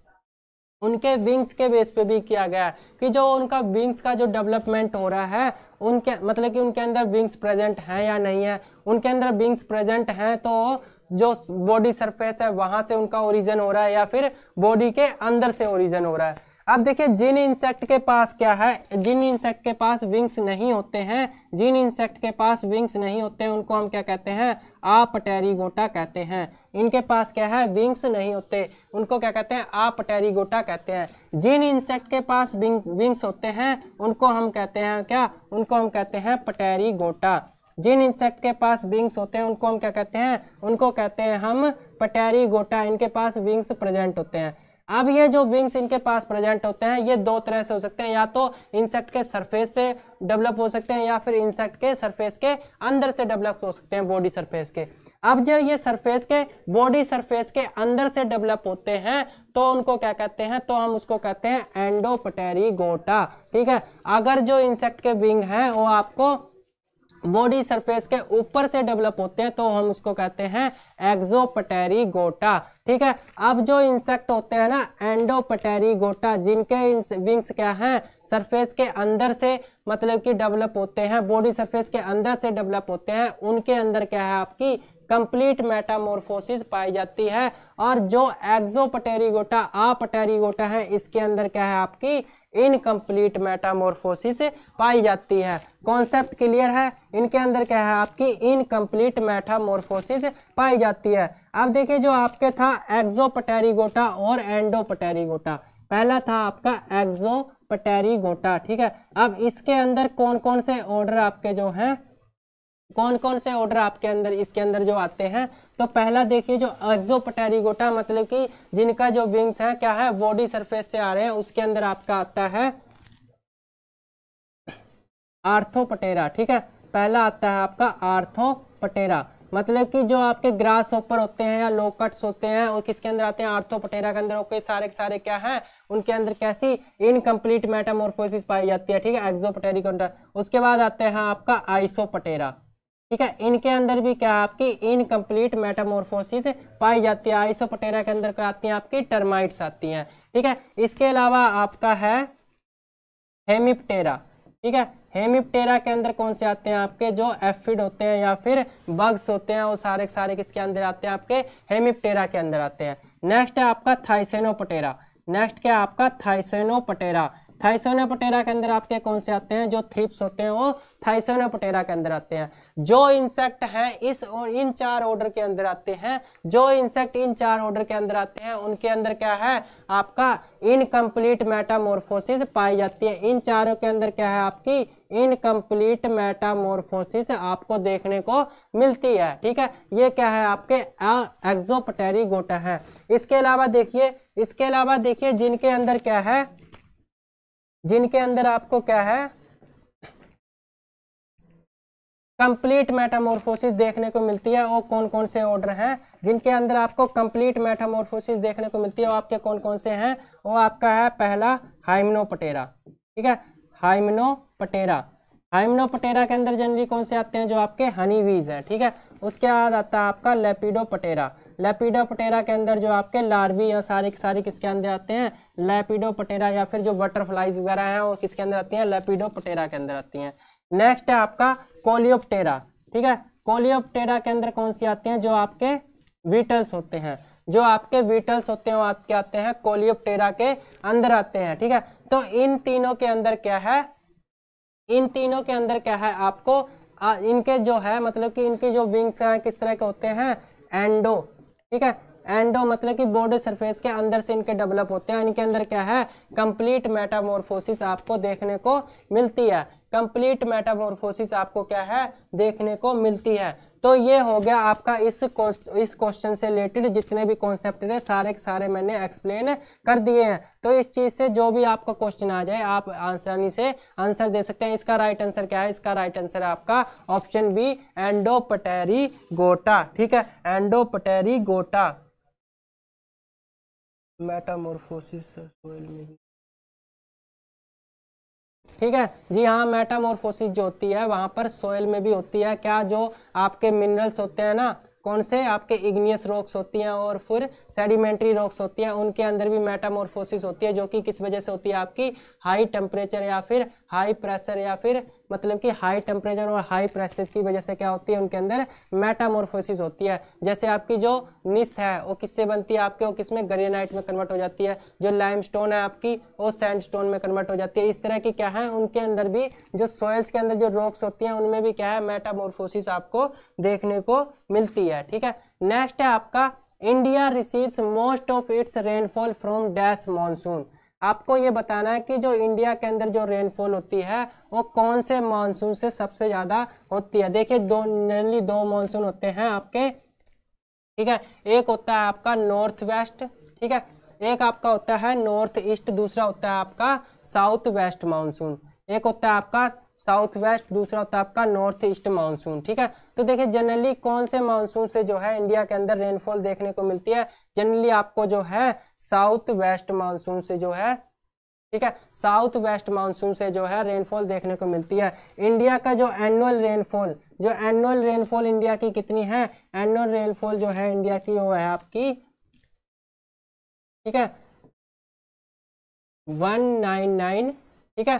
1994 mm अब इसमें से जो है मोर देन 75 परसेंट है आपकी किससे आती है? आपकी साउथ वेस्ट जो मोर देन 75 परसेंट आपकी किससे आती है? साउथ वेस्ट आती है। ये सॉरी ये गलत लिख दिया। ये कितना है? 1194 mm है। 1194 1194 mm है एनुअल रेनफॉल इंडिया की, ठीक है? 1194 जो है इंडिया की क्या है? एनुअल रेनफॉल है। नेक्स्ट देखिए नेक्स्ट क्वेश्चन आपका। One honey bee hive has drones मतलब कि जो हनी बी का हाइव होता है हनी बी का जो छत्ता होता है, उसके अंदर जो है, आपके कितने ड्रोन्स प्रेजेंट होते हैं? कितने ड्रोन्स प्रेजेंट होते हैं? तो देखिए हनी बी का जो हाइव होता है, उसके अंदर जो जनरली है 200 टू 300 200 टू 300 ड्रोन प्रेजेंट होते हैं, ठीक है? जो हनी भी आपके कैसा है, ये बेनिफिशियल इंसेक्ट है और साथ में क्या है? सोशल इंसेक्ट है। बेनिफिशियल इंसेक्ट है और सोशल इंसेक्ट है। इसके अंदर कौन कौन से? एक आपकी क्वीन होती है, ठीक है? इसके अलावा आपके ड्रोन होते हैं, इसके अलावा आपके क्या है? वर्कर बीज होते हैं। इसके अलावा आपकी क्या है? वर्कर बीज होती हैं।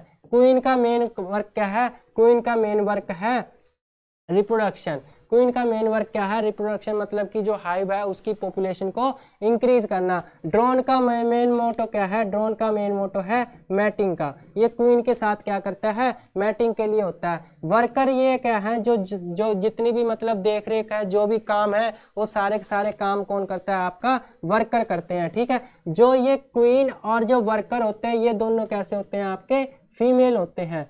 क्वीन और वर्कर आपके दोनों क्या हैं? फीमेल होते हैं। लेकिन जो वर्कर है, ये क्या करता है? ये एग लेइंग नहीं करती है। सिर्फ़ कौन करती है? क्वीन जो है एग लेइंग करती है। क्वीन को क्या है? जब ये छोटे स्टेज जैसे मतलब एग से निकलती है, उसके बाद क्या है इसको? रॉयल जेली खिलाई जाती है। उसके बाद इसको क्या है? रॉयल जेली दी जाती है, जिससे क्या है? ये क्वीन बन जाती है। और जिनको रॉयल जेली नहीं खिलाई जाती, वो क्या रह जाते हैं बेचारे? अपने वर्कर रह जाते हैं। ठीक है? तो ये क्या है? क्वीन क्या है? एक मतलब कि एग प्रोडक्शन के लिए मतलब कि जो है फीमेल है और वर्कर क्या है? ये भी फीमेल होती है, लेकिन ये एग प्रोडक्शन नहीं करती। इसके अलावा जो अपना ड्रोन है ड्रोन क्या है? ये मेल होता है। ड्रोन क्या है? ये मेल होता है और इसके पास क्या है? स्टिंग इसके पास क्या है? स्टिंग जो कांटा होता है मतलब जो ये जब काट लेते हैं ना हमको, ये हनी बी वगैरह या फिर जो ततैये होते हैं, वो काट लेते हैं तो इसके पास क्या है? स्टिंग प्रेजेंट नहीं होता है, ठीक है? इसके पास स्टिंग प्रेजेंट नहीं होता है तो इसका राइट आंसर क्या है आपका? इसका राइट आंसर आपका two hundred to three hundred two hundred to three hundred ठीक है? नेक्स्ट देखिए नेक्स्ट आपका in jute growing areas the usual alternate crop is मतलब कि जूट ग्रोइंग एरियाज़ हैं, जहाँ पर जूट प्रोडक्शन किया जाता है, उसका अल्टरनेट क्रॉप क्या है? अल्टरनेट क्रॉप क्या है आपकी? देखिए, कुछ स्टूडेंट का कमेंट आ रहा है कि सर, जो एनुअल रेनफॉल है 1190 mm है। तो देखिए 1190 mm जो है आपका डाटा ठीक है, लेकिन कुछ एक बुक में जो है वो शायद पुराना डाटा मैंने देख लिया होगा वन वन नाइन फोर भी कहीं है। तो लेटेस्ट डाटा जो है आपका, आप ठीक बोल रहे हैं वन वन नाइन ज़ीरो ही क्या है एनुअल रेनफॉल है। इसको आप करेक्ट कर लीजिएगा, ठीक है? नेक्स्ट है आपका in jute growing areas the usual alternate crop is मतलब कि जूट ग्रोइंग एरियाज़ में अल्टरनेट जो है मतलब कि जूट के अलावा आप कौन सी क्रॉप ग्रो करते हैं? कौन सी क्रॉप ग्रो कर सकते हैं? ठीक है? तो इसका आपका राइट आंसर जो है, इसका राइट आंसर है आपका ऑप्शन डी ठीक है? ठीक है? ऑप्शन डी क्या है इसका? राइट आंसर है। आप क्या कर सकते हैं? पैडी को क्या है? Alternate as alternate crop use करते हैं। इसके अलावा देखिए, मैं आपसे दो क्वेश्चन पूछता हूँ। उनके फटाफट कमेंट कर दिएगा। ऑप्शन ए और ऑप्शन बी करके कमेंट करिएगा। पहला क्वेश्चन है आपके पास। पहला क्वेश्चन है आपके पास कि ऐसी कौन सी क्रॉप है जो कि क्या है मेनली फाइबर क्रॉप है, लेकिन उसको एज अ ऑयल क्रॉप भी यूज़ करते हैं। ऐसी कौन सी क्रॉप है जो कि मेनली फाइबर क्रॉप है, लेकिन उसको as a you oil crop भी यूज़ कर लिया जाता है? पहला ऑप्शन तो आपका ये है। दूसरा क्वेश्चन आपका है दूसरा क्वेश्चन है आपका, ऐसी कौन सी ऑयल सीड क्रॉप है जो कि क्या है? मेनली ऑयल प्रोडक्शन के लिए यूज़ की जाती है, लेकिन उससे फाइबर प्रोडक्शन भी होता है। उसको फाइबर प्रोडक्शन के लिए भी यूज़ कर लिया जाता है। क्वेश्चन क्लियर है? तो बताइए इसका राइट आंसर क्या है? कमेंट कीजिए फटाफट। नेक्स्ट क्वेश्चन की तरफ़ चलते हैं हम इतना। नेक्स्ट क्वेश्चन हमारा मोस्ट इफ़ेक्टिव पेस्टिसाइड्स आर ठीक है? इनमें से बताना है कि आपको मोस्ट इफ़ेक्टिव पेस्टिसाइड कौन है? कार्बेमेट्स है या ऑर्गेनोक्लोराइन है या फिर ऑर्गेनोफोस्फेट है। तो देखिए, इसका राइट आंसर क्या है? इसका राइट आंसर है आपका ऑल ऑफ़ द दीज ठीक है, ये तीनों के तीनों क्या है? आपके मोस्ट इफ़ेक्टिव पेस्टिसाइड हैं। मोस्ट इफ़ेक्टिव पेस्टिसाइड हैं, ठीक है? नेक्स्ट क्वेश्चन है आपके पास crop grown for sale to bring money immediately is termed as देखिए कितना इजी क्वेश्चन है जो आया हुआ है प्रीवियस ईयर में। तो देखिए उसको हम क्या कहते हैं? उसको हम कहते हैं कैश क्रॉप उसको हम क्या कहते हैं? उसको हम कहते हैं कैश क्रॉप ठीक है? नेक्स्ट देखिए क्वेश्चन क्या है आपके पास? इसके अलावा और ऑप्शन की बात कर लेते हैं। कैच क्रॉप किनको कहते हैं? कैच क्रॉप हम जनरली किसको कहते हैं? जैसे दो सीज़न है आपके, ठीक है? ये क्या है? सीज़न ए है और ये क्या है आपका? सीज़न बी है, ठीक है? आपने क्या किया? जनरली सीज़न ए में ऐसी क्रॉप लगा दी जो कि क्या है? जल्दी आपकी हार्वेस्ट हो गई है। नेक्स्ट क्रॉप आपको सोइंग करने के लिए क्या है? अभी आपके पास क्या है? टाइम है। तो आप क्या करते हो? इसके बीच में क्या है? क्रॉप को ग्रो कर देते हो। इसके बीच में क्या है? आपको क्रॉप को ग्रो कर देते हो ताकि क्या है? आपको क्रॉप जल्दी मिल जाती है। जो कैच क्रॉप होती है जनरली कैसी होती है? इसकी जो लाइफ साइकिल होती है, वो बहुत छोटी होती है और फास्ट ग्रोइंग नेचर की होती है। एक तो ये कंडीशन होगी कि आपकी ये पहली वाली जो क्रॉप ए है, पहले हार्वेस्ट होगी। आपकी जो सेकेंड क्रॉप सोइंग करने से पहले क्या है? अभी उसमें टाइमिंग है तो आपने बीच में एक क्रॉप क्या कर दी? सोइंग कर दी। इसके अलावा एक कंडीशन और हो जाती है कि आपका क्या है कि आपको क्या है? बी क्रॉप क्या करनी थी? सोइंग करनी थी। बी क्रॉप क्या है? आपको सोइंग करनी थी, लेकिन कुछ कंडीशंस ऐसी हुई कि आप क्या है? बी क्रॉप को सोइंग नहीं कर पाए और उसकी क्या है? टाइमिंग निकल गई। उसकी सोइंग करने की जो टाइमिंग क्या है? आपकी निकल गई, ठीक है? उसकी सोइंग करने की टाइमिंग निकल गई तो आप क्या करते हो कि नेक्स्ट क्रॉप सोइंग करने से पहले क्या कर देते हो आप किसी क्रॉप को ग्रो कर देते हो जो कि क्या होती है शॉर्ट लाइफ साइकिल की होती है और फास्टली ग्रोथ होती है तो आपको क्या मिल जाती है वो उस, उस बीच में आपको कुछ प्रोडक्शन मतलब कि ना से सही कुछ तो सही है ना न बिल्कुल ना ग्रो करने से तो कुछ तो सही है तो क्या कर देते हैं हम क्रॉप को ग्रो कर देते हैं उसी को क्या कहते हैं हम कैच क्रॉप बोलते हैं उसी को क्या बोलते हैं हम कैच क्रॉप बोलते हैं। तीसरा ऑप्शन है आपके पास ट्रैप क्रॉप ट्रैप क्रॉप हम जनरली किसको कहते हैं? देखिए ट्रैप क्रॉप क्या करती है जनरली जो ये फ़ील्ड होता है, आप फ़ील्ड के चारों तरफ़ हम क्या करते हैं? एक ऐसी क्रॉप लगा देते हैं जो कि क्या करती है? इंसेक्ट या पेस्ट को, या फिर इंसेक्ट पेस्ट को क्या करती है? अपने तरफ़ अट्रैक्ट करती है। उसको हम क्या कह देते हैं? ट्रैप क्रॉप बोल देते हैं। उनको मतलब कि ट्रैप करने के लिए, उनको डाइवर्ट करने के लिए। जैसे कि हम क्या करते हैं? जो आपका कौन सा फ़ील्ड होता है? जैसे आपका फ़ील्ड हुआ टोमेटो का, ठीक है? टोमेटो का फ़ील्ड है, उसके अंदर आप क्या करते हो? मैरी गोल्ड जो मैरी गोल्ड है, उसके फ़ील्ड के चारों तरफ़ आप लगा देते हो। टोमेटो के फ़ील्ड के चारों तरफ़ आप मैरी गोल्ड लगा देते हो। ये क्या करता है? एज अ ट्रैप क्रॉप काम करता है। मैरी गोल्ड क्या करता है? एक तो जो इसके अंदर फ्रूट बोरर लगता है, एक जो इसके अंदर फ्रूट बोरर लगता है, उसको अपनी तरफ़ अट्रैक्ट कर लेता है। दूसरा जो है दूसरा जो है, क्या है, मैरीगोल्ड क्या करता है, जो इसके अंदर रूट नोट निमेटोड जो डिज़ीज़ लगती है, रूट नोट निमेटोड जो डिज़ीज़ लगती है, उसके भी जो है मैगेट्स होते हैं, जो निमेटोड होते हैं, उनको क्या करता है, अपनी तरफ़ अट्रैक्ट कर लेता है। इस तरह से क्या हमारी जो मेन क्रॉप है, वो क्या करती है सेफ़ रहती है और जो है, जो इंसेक्ट पेस्ट है, वो क्या हो जाते हैं डाइवर्ट हो जाते हैं। तो इसका राइट आंसर क्या है आपका? इसका राइट आंसर आपका कैश क्रॉप ठीक है? इसका राइट आंसर है आपका कैश क्रॉप जी हाँ सुगर केन भी बिल्कुल कैश क्रॉप है ठीक है? इसके अलावा देखिए, मैंने आपसे दो क्वेश्चन पूछे थे कि ऐसी कौन सी फाइबर क्रॉप है जो जिससे क्या किया जाता है? ऑयल भी एक्सट्रैक्ट किया जाता है तो उसका राइट आंसर है कॉटन ठीक है? उसका राइट आंसर क्या है? कॉटन ठीक है? इसके अलावा जो है, आपकी ऐसी कौन सी ऑयल सीड क्रॉप है जो कि क्या है, उससे फाइबर भी लिया जाता है? वो आपकी है लिंसिड ठीक है? वो आपकी कौन सी है? लिंसिड ठीक है? ये क्या है? जनरली ऑयल सीड क्रॉप है, लेकिन इससे आप क्या करते हो? फाइबर के लिए भी ग्रो करते हो। इसको इसको फाइबर को, अगर इसको फाइबर के लिए ग्रो करते हैं तो क्या कहते हैं इसको? फ्लैक्स कहते हैं लिंसिड ठीक है? लाइनम यूसी टेसिमम ठीक है? ये दोनों को क्लियर होगी बातें। नेक्स्ट क्वेश्चन देखिए। The ability of a microorganism to cause disease is called मतलब कि माइक्रोऑर्गेनिज्म की वो एबिलिटी जो कि क्या करती है? डिज़ीज़ कॉज करती है। उसको हम क्या कहते हैं? उसको हम कहते हैं पैथेनोजेनिसिटी ठीक है, उसको हम क्या कहते हैं? पैथोजेनिसिटी। उसको हम क्या कहते हैं? पैथोजेनिसिटी।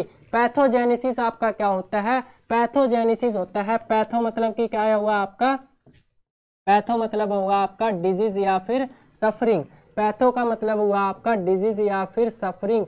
जेनिसिस का मतलब क्या हुआ? जेनिसिस का मतलब हुआ जनरेटिंग। जेनेसिस का मतलब क्या हुआ आपका? जनरेटिंग।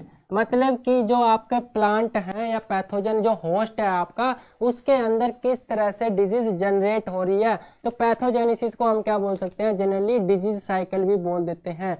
डिज़ीज़ साइकिल भी बोल देते हैं, ठीक है? तो बात क्लियर होगी। इस क्वेश्चन का राइट आंसर क्या होगा आपका? ऑप्शन सी है जो राइट आंसर होगा। पैथोजेनिसिटी उसको कहते हैं। ठीक है, जो पैथोजन की जो एबिलिटी होती है डिज़ीज़ कोज करने की, उसको क्या कहते हैं? पैथोजेनिसिटी कहते हैं। नेक्स्ट क्वेश्चन है आपका factor affecting international product planning is इनमें से कौन से फैक्टर हैं जो कि क्या करते हैं? इंटरनेशनल इंटरनेशनल प्लानिंग को इफ़ेक्ट करते हैं।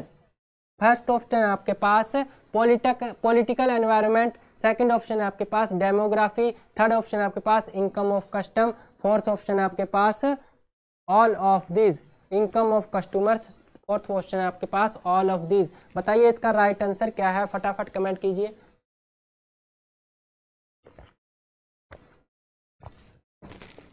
तो देखिए इसका राइट आंसर क्या है? इसका राइट आंसर है आपका ऑप्शन डी ये तीनों के तीनों फैक्टर क्या करते हैं आपके?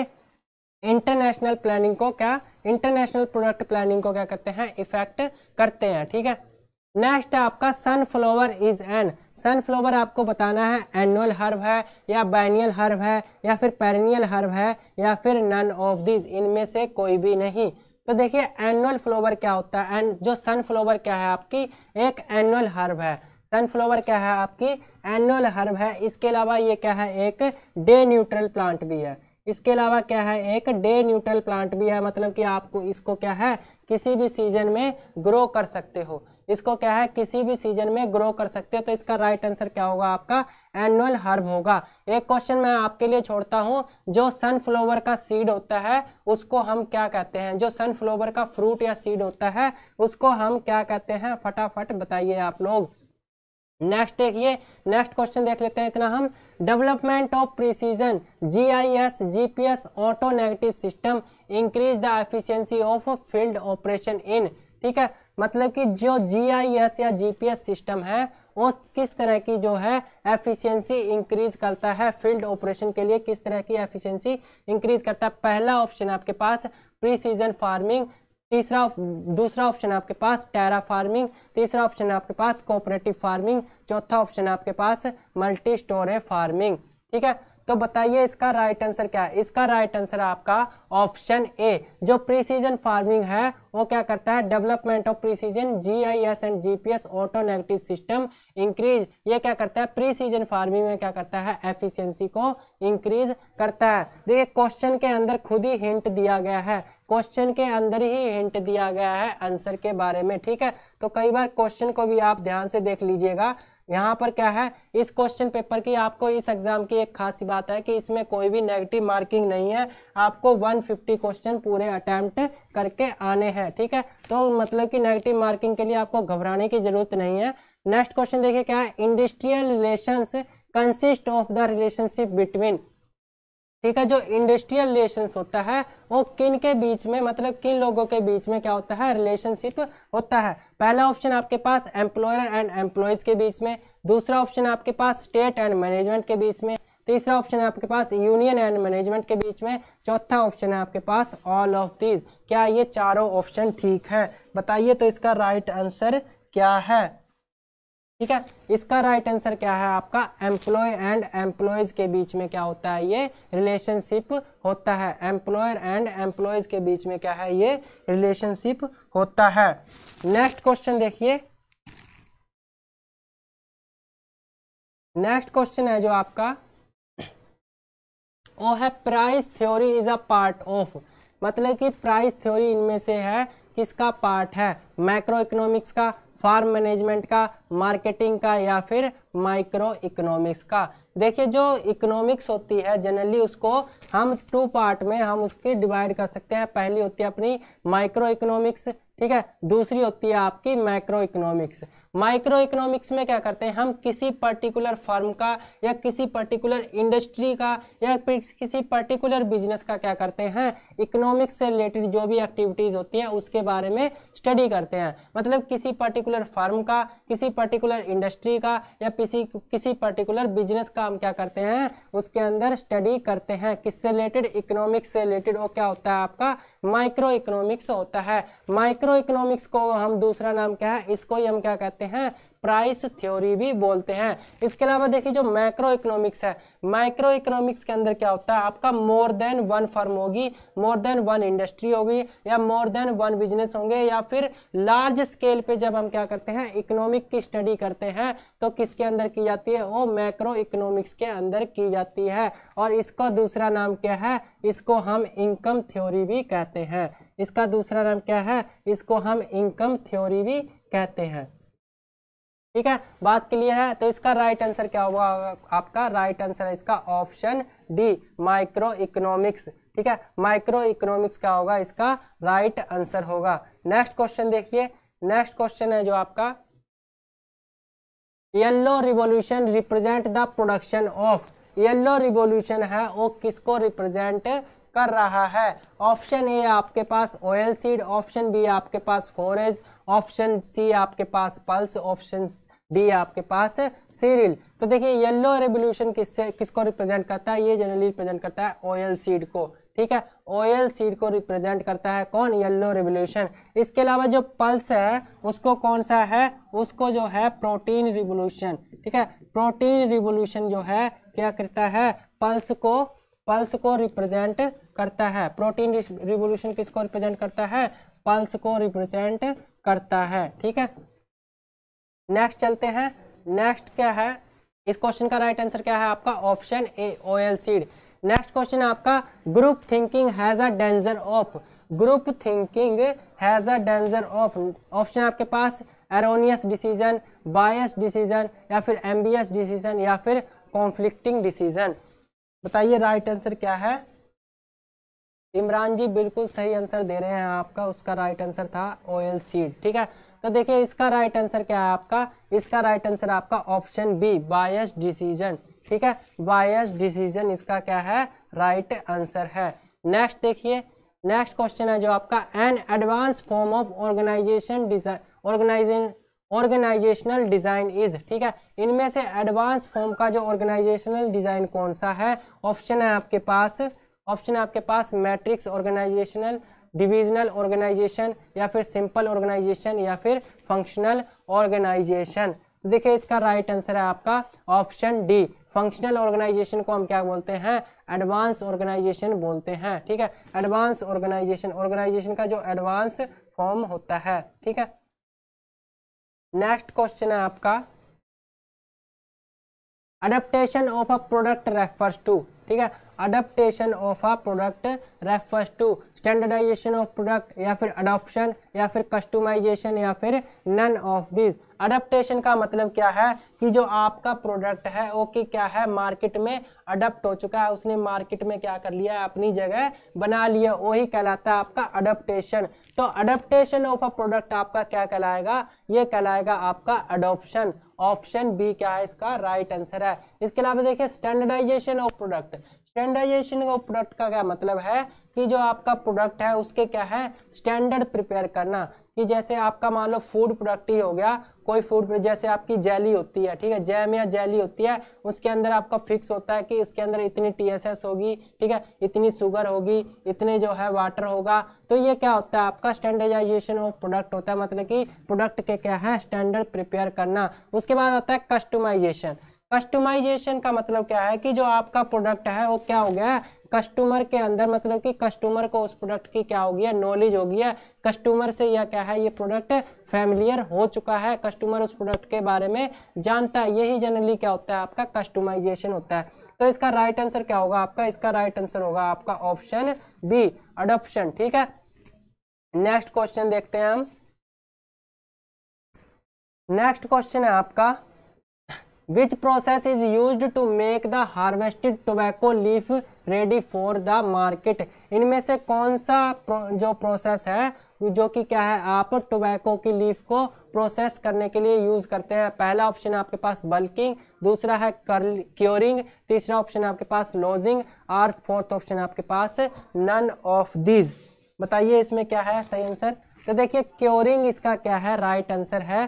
क्योरिंग क्या है? इसका राइट right आंसर है। क्योरिंग जो जनरली है टोबैको के अंदर की जाती है, इसके अलावा आपकी जो है ई के अंदर भी की जाती है या फिर जो बल्ब क्रोब होती हैं, उनके अंदर भी की जाती है। क्योरिंग जनरली जो है टोबैको के अंदर क्यों की जाती है? इसके मॉइस्चर इसके मॉइस्चर मतलब इसको ऑप्टिमम मॉइस्चर पर लाने के लिए की जाती है। किसको? जो टोबैको है, उसको ऑप्टिमम मॉइस्चर पर लाने के लिए की जाती है, ठीक है? मॉइस्चर को रिमूव करके ऑप्टिमम मॉइस्चर पर लाने के लिए की जाती है। इससे क्या होता है? इससे देखो, इसके अंदर एक तो एरोमा डेवलप होता है, ठीक है? एक तो क्या होता है? एरोमा डेवलप होता है। दूसरा क्या है इसका? एक अच्छा सा कलर डेवलप होता है, ठीक है? जो क्योरिंग है, उससे क्या होता है? एक तो एरोमा डेवलप होता है। दूसरा एक उसके अंदर अच्छा सा कलर डेवलप होता है, किसकी वजह से? क्योरिंग की वजह से, जिससे, जिसकी वजह से क्या होती है, आपको उसकी मार्केटिंग वैल्यू अच्छी मिलती है, ठीक है? मार्केटिंग वैल्यू क्या है? अच्छी मिलती है, ठीक है? कुछ एक के कमेंट आए हैं, जैसे आर्यंस ब्लॉग ऑप्शन बी जी बिल्कुल ठीक है। नेक्स्ट देखिए the practice of cultivation in the air is termed as ठीक है? एयर के अंदर जो है कल्टीवेशन करना आपका क्या कहलाता है? ईयर के अंदर जब हम प्लांट को कल्टीवेट करते हैं करते हैं तो उसको क्या कहते हैं? पहला ऑप्शन आपके पास मोनोपोनिक जियोपोनिक तीसरा ऑप्शन आपके पास हाइड्रोपोनिक एंड फोर्थ ऑप्शन आपके पास एरोपोनिक ठीक है? तो देखिए जियोपोनिक किसको कहते हैं? जब हम क्या है अर्थ के अंदर, ठीक है? अर्थ सरफेस पे क्या करते हैं हम? जब कल्टीवेशन करते हैं, उसको कहते हैं जियोपोनिक जब हम क्या है वाटर के अंदर प्लांट को कल्टीवेट करते हैं वाटर के अंदर प्लांट को ग्रो करते हैं, उसको क्या कहते हैं हम? हाइड्रोपोनिक्स जब कब, जब हम क्या है एयर के अंदर ग्रो करते हैं तो हम उसको क्या कहते हैं एरोपोनिक्स तो इसका राइट आंसर क्या होगा आपका? इसका राइट आंसर होगा आपका ऑप्शन डी ठीक है? ऑप्शन डी आपका क्या होगा? इसका राइट आंसर होगा। नेक्स्ट क्वेश्चन है आपका the agricultural prices are recommended by जो एग्रीकल्चरल प्राइसेस हैं मतलब कि जो एमएससी है ठीक है? एमएसपी सॉरी एमएसपी है वो कौन रिकमेंडेड करता है? कौन रिकमेंडेड करता है? ऑप्शन है आपके पास आरबीआई ऑप्शन बी आपके पास C S C P option C आपके पास C S I R option D आपके पास सी ए सी पी ये दोनों ऑप्शन क्या है? सेम हो चुके हैं। इसको कर लीजिए आप सी ए सी डी ठीक है? इसको आप सी ए सी डी कर लिए। बताइए इसका राइट आंसर क्या है? ठीक है? तो देखिए जो है आपका जो एम एस पी है, वो कौन डिसाइड करता है आपका? सी ए सी पी कौन डिसाइड करता है आपका? C A C P commission of commission of agricultural for cost and prices इसकी इस्टेब्लिशमेंट कब हुई थी आपकी? 1965 के अंदर इसकी इस्टेब्लिशमेंट हुई थी। ये क्या करती है आपकी? एमएसपी डिसाइड करती है किसकी? क्रॉप्स की। ठीक है?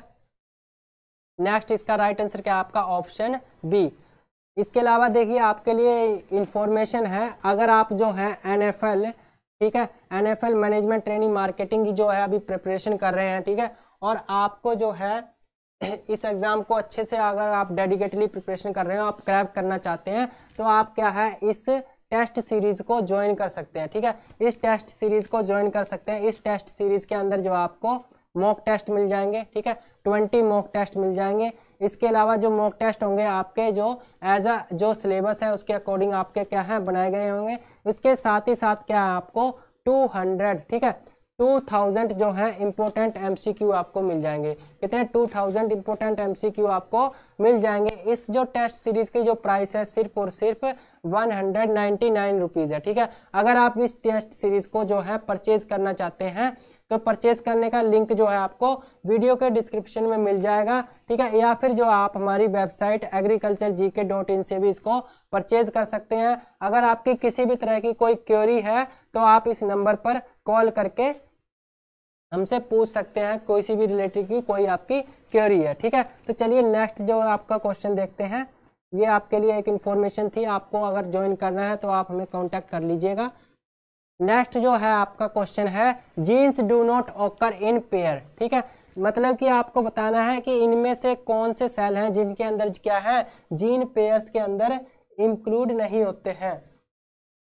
परचेज करने के लिए मैंने आपको बता दिया ना, या तो आप क्या है, हमारी एप्लीकेशन को डाउनलोड कर लीजिए एग्रीकल्चर जी के ठीक है? एग्रीकल्चर एंड जीके को एप्लीकेशन को डाउनलोड कर लीजिए। वहाँ पर क्या है आपको? इसका जो है लोगो मिल जाएगा। उससे जाके परचेज कर सकते हैं। इसके अलावा जो है आपको एप्लीकेशन डाउनलोड आपके कहाँ से कर सकते हैं?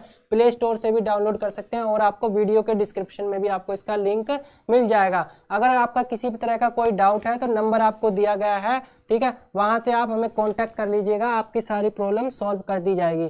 क्वेश्चन देखिए, क्या है? Genes do not occur in pair ठीक है? मतलब कि इसमें से कौन से सेल हैं जिसके अंदर क्या है? जीन आपके पेयर में प्रेजेंट नहीं होते। देखिए सोमैटिक सेल सोमैटिक सेल होते हैं हमारे, जो जनरली क्या होते हैं? दो टाइप के सेल होते हैं, आपके रिप्रोडक्टिव सेल और सोमैटिक सेल जो आपके क्या करते हैं? रिप्रोडक्शन वर्क को करते हैं, उसको कहते हैं रिप्रोडक्टिव सेल और जो बॉडी के पार्ट के जो रिप्रोडक्टिव सेल को छोड़ के जो अदर सेल होते हैं, उनको हम सोमेटिक सेल कहते हैं। तो इनके अंदर तो जनरली क्या है? टू एन नंबर में ही क्रोमोजोम प्रेजेंट होते हैं, जो जायगोट है। जायगोट आपका कब बनता है? जब मेल और फीमेल गैमेट दोनों फर्टिलाइज होते हैं तो मेल गैमेट के अंदर एन नंबर ऑफ़ क्रोमोजोम है, फीमेल गैमेट के अंदर भी एन नंबर ऑफ़ क्रोमोजोम है। दोनों जब, दोनों का फ्यूजन होगा, जायगोट बनेगा तो उसके अंदर भी क्या होंगे आपके? Two N number of chromosome होंगे। उसके बाद आता है एंडोस्पर्म सेल देखिए एंडोस्पर्म सेल होता है, उसके, उसकी जो है, वो क्या होता है? थ्री एन नंबर होता है। टू क्या होती है, उसके अंदर पोलर न्यूक्लियाई होती हैं। उसके अलावा एक जो होते हैं आपका पोलर ग्रेन की जो टेस्ट हुई होती है, उसके अंदर जो वेजिटेटिव सेल होता है, वो इसके साथ फ्यूज करता है। तो इस तरह से क्या है, वो थ्री एन न्यूक्लियाई आपका फॉर्मेशन कर लेता है। अब बचा आपके पास ऑप्शन डी ठीक है गैमेट गैमेट के अंदर क्या है, आपके N number of cell present होते हैं। तो इसका राइट आंसर क्या है, आपका ऑप्शन डी है इसका राइट आंसर है। इसके अलावा देखिए, ये बात भी ध्यान रखिएगा कि एंडोस्पर्म क्या है, वो थ्री एन होता है, ठीक है? थ्री एन होता है। नेक्स्ट देखिए नेक्स्ट क्वेश्चन आपका। The average share of agriculture credit to total priority sector lending decrease from 63.73 percent in 2009 to 10 to dash percent 2019-20 मतलब कि जो है 19 2009 टू 10 में जो था, आपका क्या? एग्रीकल्चर क्रेडिट जो सेक्टर था, उसके जो परसेंटेज थी, कितनी थी आपकी? 63.73 थी। एवरेज शेयर कितना था एग्रीकल्चर क्रेडिट का? ठीक है 63.73 था। अब आपको बताना है, अभी जो ईयर है 2019-20 के अंदर, अब कितना रह गया है? तो इसका राइट आंसर है आपका, इसका राइट आंसर आपका ऑप्शन सी 58 परसेंट क्या है? अब शेयर उसका रह गया है, ठीक है? 58 परसेंट शेयर अब रह चुका है सिर्फ़। नेक्स्ट देखिए which of this is included in the mental process of acceptation of mental process of acceptation of rejection और न्यू प्रोडक्ट ठीक है? Which of this is include in the mental process of acceptance और rejection of a new product ठीक है? तो देखिए, पहले क्या है? अवेयरनेस दूसरा ऑप्शन है आपके पास नॉलेज तीसरा ऑप्शन है आपके पास इवेल्युएशन चौथा ऑप्शन है आपके पास ऑल ऑफ़ दीज मतलब कि आपको किसी प्रोडक्ट को एक्सेप्ट करना है या रिजेक्ट करना है, ये चीज़ आपकी किस पे डिपेंड करती है? तो ये जो तीनों फैक्टर हैं, तीनों फैक्टर क्या हैं? रिस्पॉन्सिबल होते हैं कि आपको किसी फैक्टर किसी प्रोडक्ट को चूज़ करना है या फिर रिजेक्ट करना है, ठीक है? नेक्स्ट क्वेश्चन है आपका E C R stand for E C R की फुल फॉर्म बतानी है आपको। तो पहला ऑप्शन है आपके पास इफ़ेक्टिव कस्टमर रिप्लाई या फिर इफ़ेक्टिव कस्टमर रिस्पॉन्स या फिर एफिशिएंट कंज्यूमर रिस्पॉन्स या फिर इफ़ेक्टिव कंज्यूमर रिस्पॉन्स तो इसका राइट right आंसर क्या है? इसका राइट right आंसर आपका ऑप्शन डी ठीक है? इफ़ेक्टिव कंज्यूमर रिस्पॉन्स ठीक है? नेक्स्ट क्वेश्चन देखिए। Next question the excess of income over consumption is called ठीक है? Excess of income over consumption is called मतलब कि कंजप्शन के ऊपर जो एक्सेस इनकम है, आप उसको क्या कहते हैं? तो उसको हम कहते हैं सरप्लस उसको हम क्या कहते हैं? सरप्लस जो एक्सेस इनकम होती है आपकी कंजप्शन के अभाव उसको हम कहते हैं सर प्लस ठीक है? नेक्स्ट है which system provide the accurate positional information which will be more useful in locating the special variability of with accuracy ठीक है? इनमें से मतलब कि कौन सा पोजिशनिंग सिस्टम है जो कि मतलब कि कौन सी जो है सिस्टम है जो आपको क्या करता है? करेक्ट पोजीशन के बारे में बताता है। पहला आपका जीपीएस दूसरा ऑप्शन आपके पास जीआईएस तीसरा ऑप्शन आपके पास डीएसएस फोर्थ ऑप्शन आपके पास all of the the all of these तो देखिए जीपीएस आपका क्या है? जीपीएस की फुल फॉर्म क्या होती है? ग्लोबल पोजिशनिंग सिस्टम जीपीएस की फुल फॉर्म क्या होती है? ग्लोबल पोजिशनिंग सिस्टम तो इस क्वेश्चन का राइट आंसर क्या है? इस क्वेश्चन का राइट आंसर आपका ऑप्शन ए क्या है? राइट आंसर है। इसके अलावा देखिए जीआईएस जीआईएस क्या होता है? Geographical geographical information system geographical information system ठीक है? जियोग्राफिकल इंफॉर्मेशन सिस्टम क्या होता है आपका?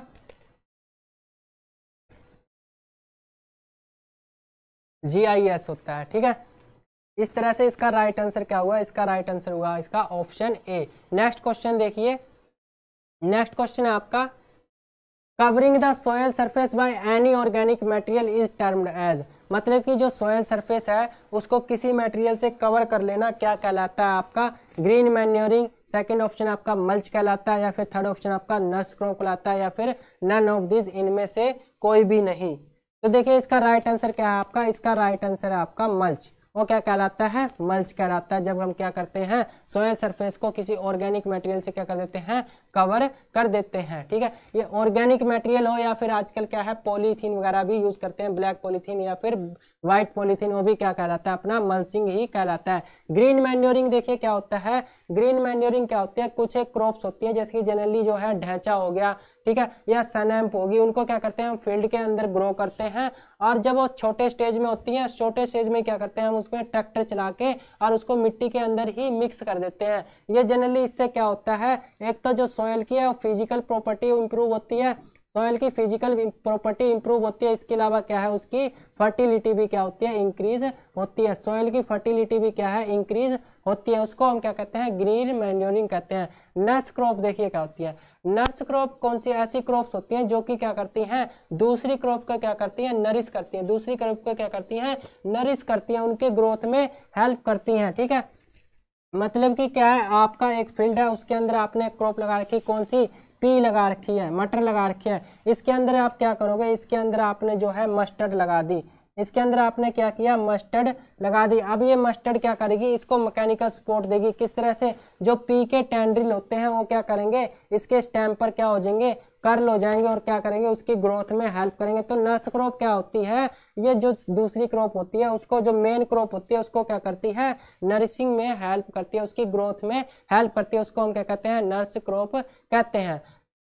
क्वेश्चन उसके बाद क्वेश्चन आपका global food security index is published by जो ग्लोबल फ़ूड सिक्योरिटी इंडेक्स है, वो किसके द्वारा पब्लिश किया जाता है? तो देखिए, पहला ऑप्शन आपके पास इकोनॉमिस्ट इंटेलिजेंस यूनिट या फिर दूसरा ऑप्शन आपके पास फ़ूड एंड एग्रीकल्चर ऑर्गेनाइजेशन, तीसरा ऑप्शन है आपके पास एम इंटरनेशनल चौथा ऑप्शन है आपके पास वर्ल्ड इकोनॉमिक्स तो देखिए जो ग्लोबल फ़ूड सिक्योरिटी इंडेक्स है, ये किसके द्वारा पब्लिश किया जाता है आपका? इकोनॉमिक इंटेलिजेंस यूनिट के द्वारा क्या है? पब्लिश किया जाता है। ऑप्शन ए क्या है इसका? राइट आंसर है। नेक्स्ट ऑप्शन आपके पास the tillage operation that is done in a field with standing water is called मतलब कि फ़ील्ड के अंदर क्या है? पानी भरा हुआ है। उसके बाद क्या करते हैं आप? टिलेज ऑपरेशन करते हैं, उसको आप क्या कहते हैं? प्लोइंग प्लैंकिंग होइंग या फिर पडलिंग तो उसको आप क्या कहते हैं? उसको हम कहते हैं पडलिंग ठीक है? पडलिंग उसको क्या कहते हैं?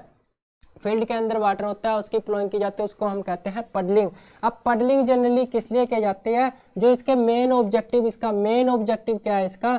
जो वाटर लॉस को रोकने के लिए, ठीक है? वाटर लॉस को रोकने के लिए परकोलोशन को परकोलेशन जो होता है प्रोसेस उसको रोकने के लिए क्या है आपकी पडलिंग की जाती है। पडलिंग से क्या होता है? कंटिन्यूस जब आपको पडल करते रहते हो तो सोयल सरफेस के नीचे क्या होती है? एक हार्ड पैन बन जाती है, जिसकी वजह से क्या होता है? परकोलेशन नहीं होता वाटर का लॉस नहीं होता। अगर वाटर का लॉस परकोलेशन नहीं हो रहा तो क्या हो रहा है आपके जो न्यूट्रिएंट है, वो भी क्या होंगे? आपके लीच नहीं होंगे। न्यूट्रिएंट भी क्या होंगे? आपके लीच नहीं होंगे। इसके अलावा क्या है? आपका वीड जो वीड इन्फेस्टेशन है वीड इन्फेस्टेशन है, वो भी क्या हो जाता है आपका? कम हो जाता है। वीड कंट्रोल में भी क्या करता है ये? हेल्प करता है आपका। वीड कंट्रोल में भी क्या करता है ये? हेल्प करता है। तो ये क्या है इसके? जो पडलिंग के कुछ एक ऑब्जेक्टिव हैं, ठीक है? पडलिंग के कुछ एक ऑब्जेक्टिव हैं। नेक्स्ट देखिए आप।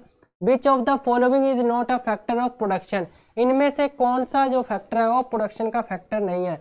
तो देखिए प्रोडक्शन के जो फैक्टर होते हैं जनरली पाँच फैक्टर होते हैं प्रोडक्शन के। पहला होता है आपका लैंड ठीक है? दूसरा होता है आपका, दूसरा होता है आपका लेबर ठीक है? इसके अलावा आता है आपका कैपिटल उसके बाद आता है आपका ऑर्गेनाइजेशन ठीक है?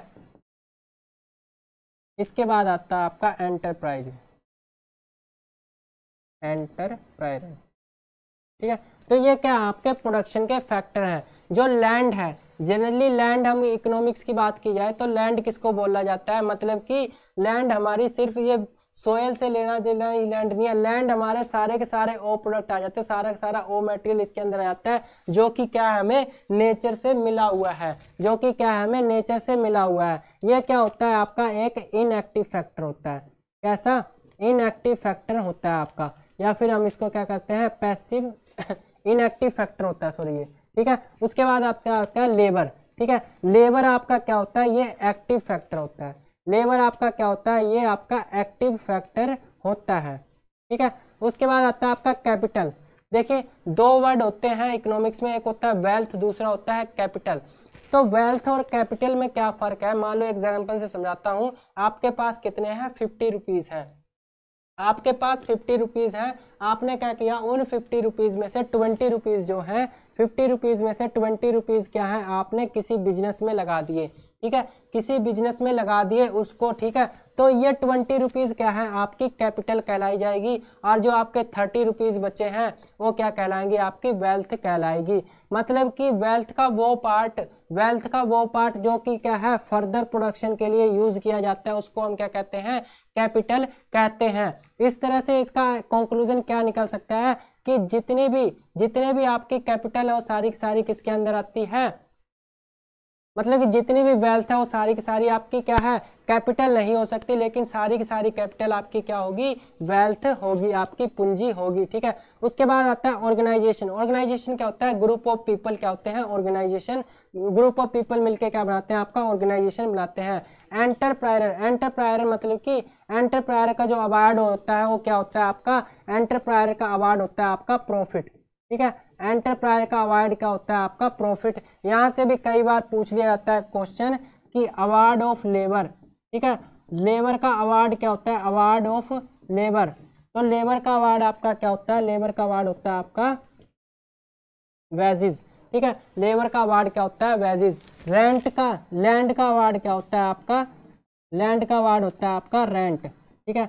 लैंड का अवार्ड होता है आपका रेंट इसके अलावा जो है कैपिटल कैपिटल का अवार्ड क्या होता है आपका? कैपिटल का अवार्ड होता है आपका इंटरेस्ट कैपिटल का अवार्ड क्या होता है आपका इंटरेस्ट अब इसमें क्वेश्चन में देखिए क्या पूछा? Which of the following is not a factor of production तो कस्टमर क्या है? कस्टमर क्या है? ये प्रोडक्शन का फैक्टर नहीं है. कस्टमर क्या है? प्रोडक्शन का फैक्टर नहीं है. इसके अलावा लैंड लेबर कैपिटल तीनों क्या है? कस्ट क्या है? प्रोडक्शन के फैक्टर हैं. ठीक है? नेक्स्ट क्वेश्चन देखिए which system provide the accurate position information which will be more useful in location partial ये आपका क्वेश्चन रिपीट हो गया है। नेक्स्ट देखिए legume crop also known as oil seed ठीक है, ऐसी कौन सी लेग्यूम क्रॉप है जो कि क्या है? ऑयल सीड भी मान ओनली ऑयल सीड भी बोली जाती है। तो देखिए, कितना इजी क्वेश्चन है। तो कौन सी लेग्यूम क्रॉप है? सोयाबीन सोयाबीन क्या है? आपकी एक लेग्यूम क्रॉप है और ये as a as a oil seed क्या की जाती है? आपकी ग्रो की जाती है, ठीक है? सोयाबीन नेक्स्ट क्वेश्चन देखिए। नेक्स्ट क्वेश्चन आपका an exchange of genetic material between homologous chromosomes is called homologous chromosomes के बीच में जो है जेनेटिक मटेरियल को एक्सचेंज करने को हम क्या बोलते हैं? उसको बोलते हैं हम क्रॉसिंग ओवर उसको क्या बोलते हैं? क्रॉसिंग ओवर डिलीशन डिलीशन देखिए क्या होता है? कि आपका ये क्या है? डीएनए है, ठीक है? इसका किसी जो एक पर्टिकुलर पार्ट का क्या होना, एक पर्टिकुलर पार्ट का क्या है? डिलीट हो जाना क्या कहलाता है? डिलीशन कहलाता है। उसके बाद म्यूटेशन सडन हेरिटेबल चेंजेस जो कि हमने पहले क्वेश्चन में डिस्कस किया था। उसके बाद आता है रिकॉम्बिनेशन रिकॉम्बिनेशन देखिए क्या होता है कि डीएनए का क्या है? डीएनए का क्या है? दो पार्ट में डिवाइड होना। ठीक है? और उसका फिर से क्या है? अलग से अलग अलग मतलब जो डीएनए है, उनका कंबाइन हो जाना और एक न्यू डीएनए का फॉर्मेशन करना वो क्या कहलाता है? रिकॉम्बिनेशन मतलब फिर से कंबाइन करके एक नया डीएनए बनाना क्या कहलाता है? रिकॉम्बिनेशन कहलाता है। तो इसका राइट आंसर क्या है आपका? इसका राइट आंसर है students option D crossing over next question देखिए। नेक्स्ट है आपका urban agriculture contributes to urban agriculture है, वो किसमें कंट्रीब्यूट करता है? फ़ूड सिक्योरिटी में फ़ूड सेफ्टी में, या फिर बोथ ऑफ़ दीज या फिर नन ऑफ़ दीज तो इसका राइट right आंसर है आपका ऑप्शन सी ठीक है? बोथ ऑफ़ दीज अर्बन जो एग्रीकल्चर है, वो आपके फ़ूड सिक्योरिटी में भी प्लस फ़ूड सेफ्टी में भी हेल्प करता है। Which one of the following technique is use to monitor crop health मतलब कि इनमें से कौन सी टेक्निक है जो कि क्या है?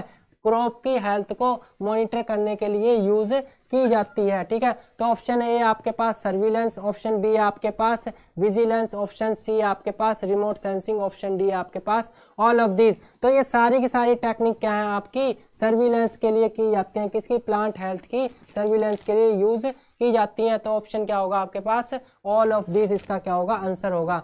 नेक्स्ट क्वेश्चन आपके पास which cooperative bank act as a link between state cooperative bank and मतलब कि स्टेट कोऑपरेटिव बैंक के बीच में और प्राइमरी एग्रीकल्चर कोऑपरेटिव जो सोसाइटी है, उनके बीच में कौन सी बैंक है जो कि लिंक बनाती है? तो पहला ऑप्शन आपके पास सेंट्रल लैंड डेवलपमेंट बैंक, दूसरा ऑप्शन आपके पास digital district central cooperation bank, तीसरा ऑप्शन है आपके पास primary land development bank and fourth option है आपके पास रीजनल रूरल बैंक तो देखिए, इन जो है स्टेट बैंक है स्टेट कोऑपरेटिव बैंक और प्राइमरी एग्रीकल्चर कोऑपरेटिव सोसाइटी है, इनके बीच में जो लिंक बनाती है कौन सी बैंक बनाती है आपकी?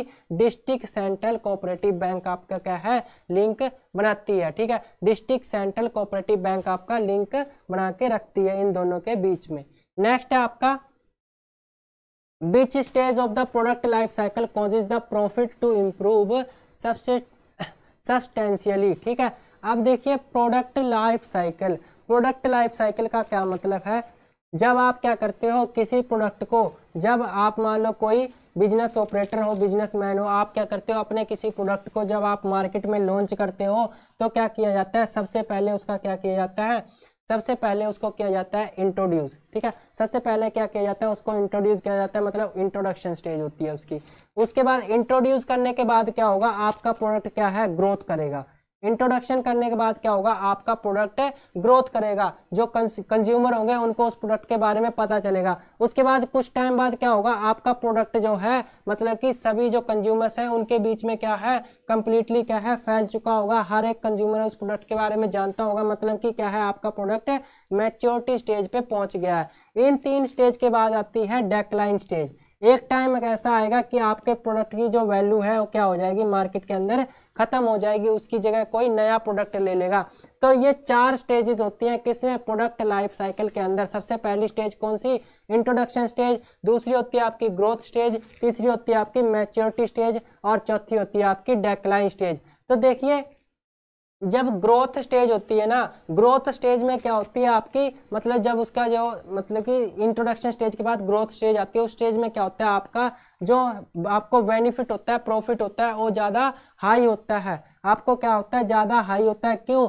क्योंकि उस टाइम क्या है, आपका जो प्रोडक्ट है, फैल रहा होता है, लोगों को उसके बारे में पता चल चुका होता है और वो ज़्यादा से ज़्यादा उसकी क्या होती है परचेजिंग होती है, ज़्यादा से ज़्यादा वो सेल होता है। उसके बाद मैच्योरिटी स्टेज उस टाइम तो क्या है, जो है मतलब कि एक स्टेबल कंडीशन आ जाती है आपकी कि ना ही मतलब कि एक्सेस जो सेल तो हो रही है, लेकिन बहुत ही स्लोली स्लोली क्या हो रही है सेल हो रही है। तो इसका राइट आंसर क्या होगा आपका? इसका राइट आंसर होगा ऑप्शन सी ठीक है? तो जो ग्रोथ स्टेज है, उसमें क्या होता है? आपका प्रॉफिट किस तरह इंप्रूव करता है? सस्टेनेबली मतलब फास्टली इंप्रूव करता है प्रॉफिट ठीक है? डेक्लाइन स्टेज में क्या है? आपका प्रोडक्ट है मार्केट से गायब हो जाता है, खत्म हो जाती है उसकी वैल्यू नेक्स्ट क्वेश्चन है आपका। The substance which causes a definite change in genes genes is called as ठीक है? उसको हम क्या कहते हैं? अल्कलॉइड टॉक्सिन या साइटोटॉक्सिन या म्यूटाजेंस ये मैंने बता चुका हूँ कि म्यूटाजेंस क्या होते हैं। आपके म्यूटाजेंस ऐसे केमिकल्स होते हैं या फिर ऐसी रेडिएशंस होती हैं। ये क्या हो सकते हैं? मतलब कि म्यूटाजेंस आपके ऐसे एजेंट्स होते हैं। एजेंट क्या है? आपके ये फ़िज़िकल भी हो सकते हैं और केमिकल भी हो सकते हैं। मतलब रेडिएशन भी हो सकते हैं और कुछ केमिकल भी हो सकते हैं जो कि क्या करते हैं? किसी ऑर्गेनिज्म के अंदर क्या है? उसके जो जीन्स हैं, उनके अंदर चेंज करके क्या कर देते हैं? म्यूटेशन क्रिएट कर देते हैं। उनको हम क्या कहते हैं? म्यूटाजेंस कहते हैं। उनको हम क्या कहते हैं? म्यूटाजेंस कहते हैं। तो इसका राइट आंसर क्या है आपका? इसका राइट आंसर आपका म्यूटाजेंस ठीक है? वो सब्सटेंस क्या कहलाते हैं आपके? म्यूटाजेंस कहलाते हैं, जो कि क्या करते हैं? म्यूटेशन क्रिएट करते हैं। नेक्स्ट क्वेश्चन है different form of gene is called different different form of gene are called जो जीन की डिफरेंट फॉर्म होती है, उसको आप क्या कहते हैं? उसको हम कहते हैं एलिल्स जीन के डिफरेंट फॉर्म को हम क्या कहते हैं? एलिल्स कहते हैं। इसके अलावा देखिए सप्लीमेंट्री जीन क्या होता है? सप्लीमेंट्री जीन ये होता है कि मतलब कि ये क्या है? मतलब कि अगर जो एक, जो करेक्टर है, उसके अंदर दो जीन प्रेजेंट है, दो एलिल प्रेजेंट है, ठीक है? एक उसका अगर अपने आप को तो रिप्रेजेंट नहीं कर रहा है। जो अकेला प्रेजेंट है बेसिक डोमिनेंट स्टेज में है। तो उसकी कोई वैल्यू नहीं होगी, कोई करेक्टर और रिप्रेजेंट नहीं कर रहा है। लेकिन जब क्या होगा, वो दूसरे करेक्टर के साथ होगा। जैसे कि मान लो ए और बी क्या है? दो आपकी एलिल हैं। जो बी क्या है, ये अपने आप में तो कोई आपका करेक्टर प्रोड्यूस नहीं कर रही है। अपने आप में क्या है, कोई भी करेक्टर डेवलप नहीं कर रही है। लेकिन जब ये ए के साथ होगी तो क्या करेगी? एक नया करेक्टर डेवलप करेगी। ये क्या कहलाता है? आपका सप्लीमेंट्री जीन कहलाता है। ए को क्या करता है? ये सप्लीमेंट करता है। इसका जो जनरली जनरली रेशियो होता है, जनरली रेशियो कितना होता है? Nine ratio, three ratio three ratio, one होता है। इसका रेशियो आपका कितना होता है? Nine ratio, three ratio, four होता है, ठीक है? दूसरा आता है इनविट्री जीन मतलब कि जो बी जीन है, वो ए जीन के इफ़ेक्ट को क्या करता है? इनविट कर देता है, खत्म कर देता है। इसका रेशियो क्या होता है आपका? Thirteen ratio. जो इनविट्री जीन है, इसका रेशियो आपका होता है थर्टीन रेशियो इसका रेशियो होता है आपका थर्टीन रेशियो थ्री ठीक है? उसके बाद आता है हेट्रोजाइगोट्स हेट्रोजाइगोट्स मतलब कि आज का हेट्रोजाइगट्स का मतलब कि क्या है? उसमें उसके अंदर दो तरह की एलिल प्रेजेंट है, एक कैपिटल टी और दूसरी स्मॉल टी दोनों एलिल्स क्या है आपकी? डिफरेंट फॉर्म में, एक डोमिनेंट है, एक क्या है? एंड रिसेसिव है. वो होती है आपकी हेट्रोजाइगस कंडीशन नेक्स्ट क्वेश्चन है आपका soil is always acidic in nature soil मतलब कि इसमें से कौन सी स्टेज है जिसमें क्या होगा? सोयल जो होगी ऑलवेज एसिडिक नेचर की होगी। पहला ऑप्शन आपके पास लेट्राइट दूसरा ऑप्शन आपके पास कैलकेरियस तीसरा ऑप्शन आपके पास अल्कलाइन चौथा ऑप्शन है आपके पास सलाइन तो देखिए, इसके अंदर जो राइट आंसर क्या होगा? सोयल जो है हमेशा एसिडिक नेचर में कौन से में होगी? ऑप्शन ए लेट्राइट में. जो लेट्राइट सॉइल होती हैं, आप आपकी हमेशा कैसी होंगी? एसिडिक नेचर की होंगी। बाकी तीनों की तीनों, ये क्या है आपकी? अल्कलाइन नेचर की है, ठीक है? बाकी तीनों की तीनों क्या है आपकी? अल्कलाइन या फिर बेसिक नेचर की है, ठीक है? बेसिक नेचर की है। नेक्स्ट क्वेश्चन है आपका।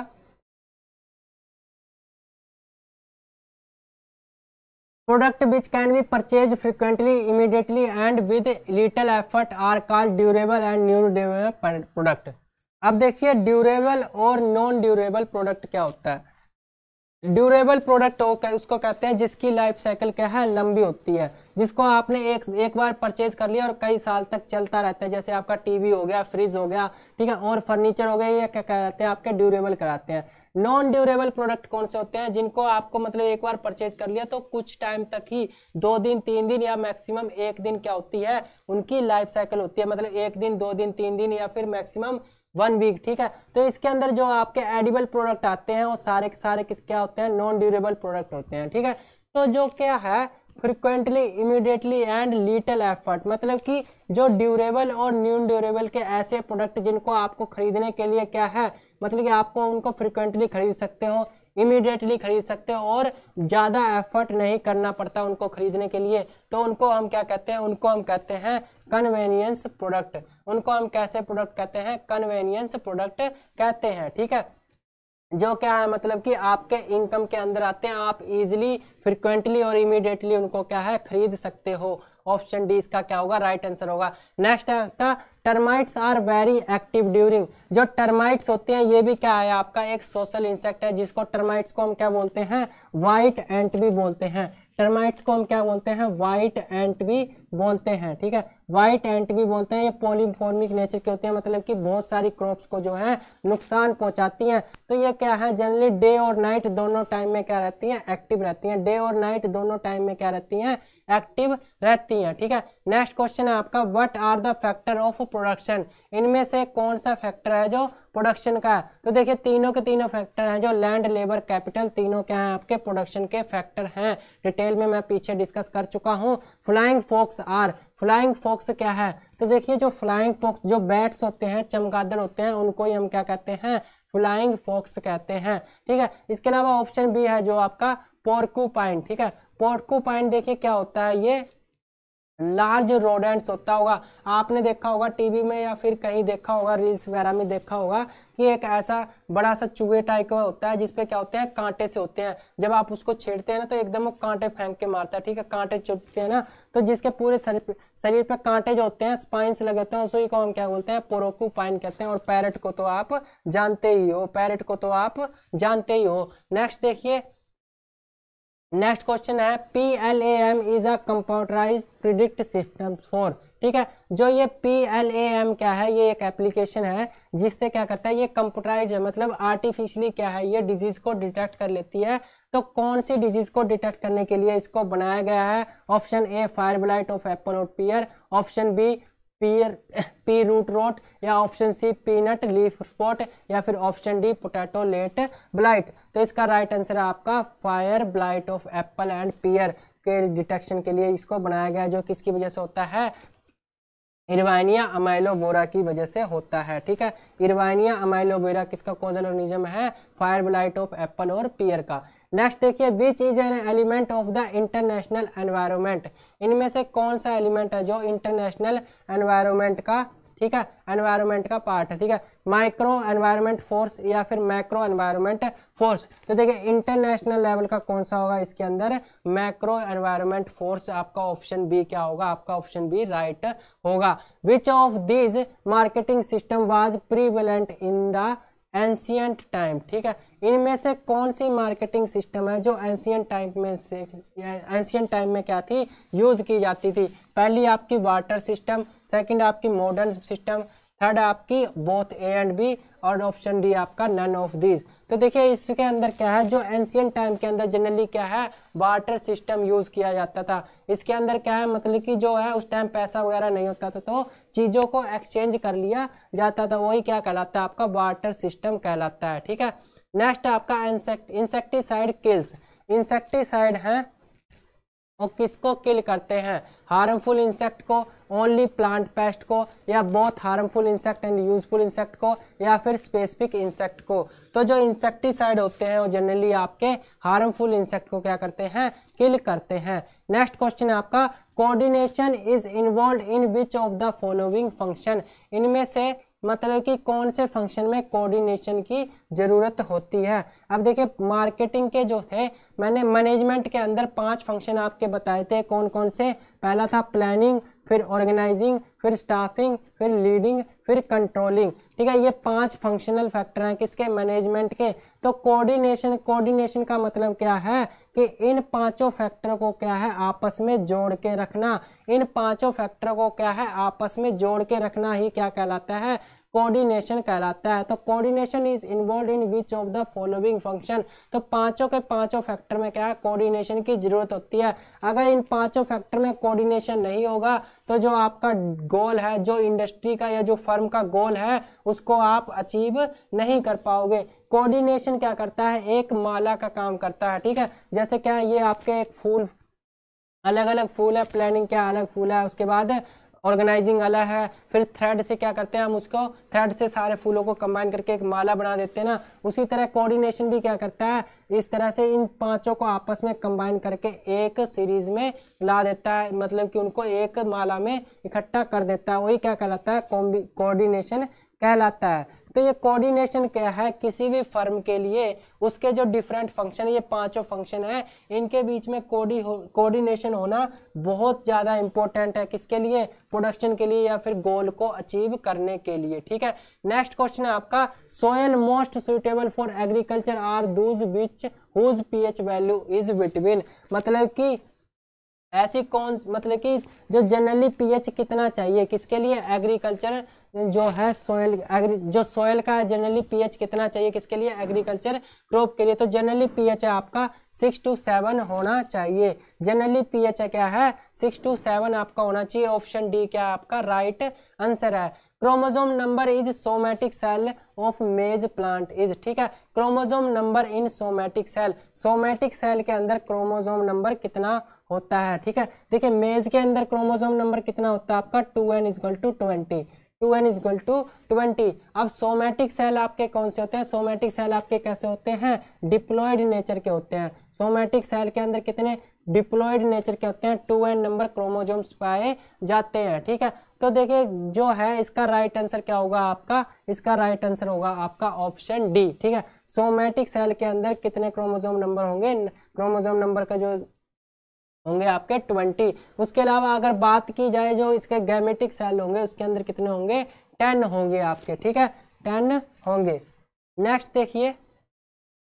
Which of these are step of new product development मतलब कि इनमें से जो है, कौन से स्टेप हैं जो कि क्या है न्यू प्रोडक्ट डेवलपमेंट के लिए हैं, ठीक है? Creation of ideas screening of ideas business analysis तो देखिए, तीनों के तीनों क्या हैं आपके न्यू प्रोडक्ट डेवलपमेंट के लिए इसेंशियल है। तीनों के तीनों क्या हैं आपके न्यू प्रोडक्ट डेवलपमेंट के लिए इसेंशियल हैं। क्रिएशन ऑफ़ आइडियाज़ पहले क्या करोगे? आपके दिमाग में कोई आइडिया आएगा, कोई आइडिया क्रिएट करोगे, ठीक है? फिर उसकी स्क्रीनिंग करोगे कि हाँ भाई, ये आइडिया ठीक है या नहीं है।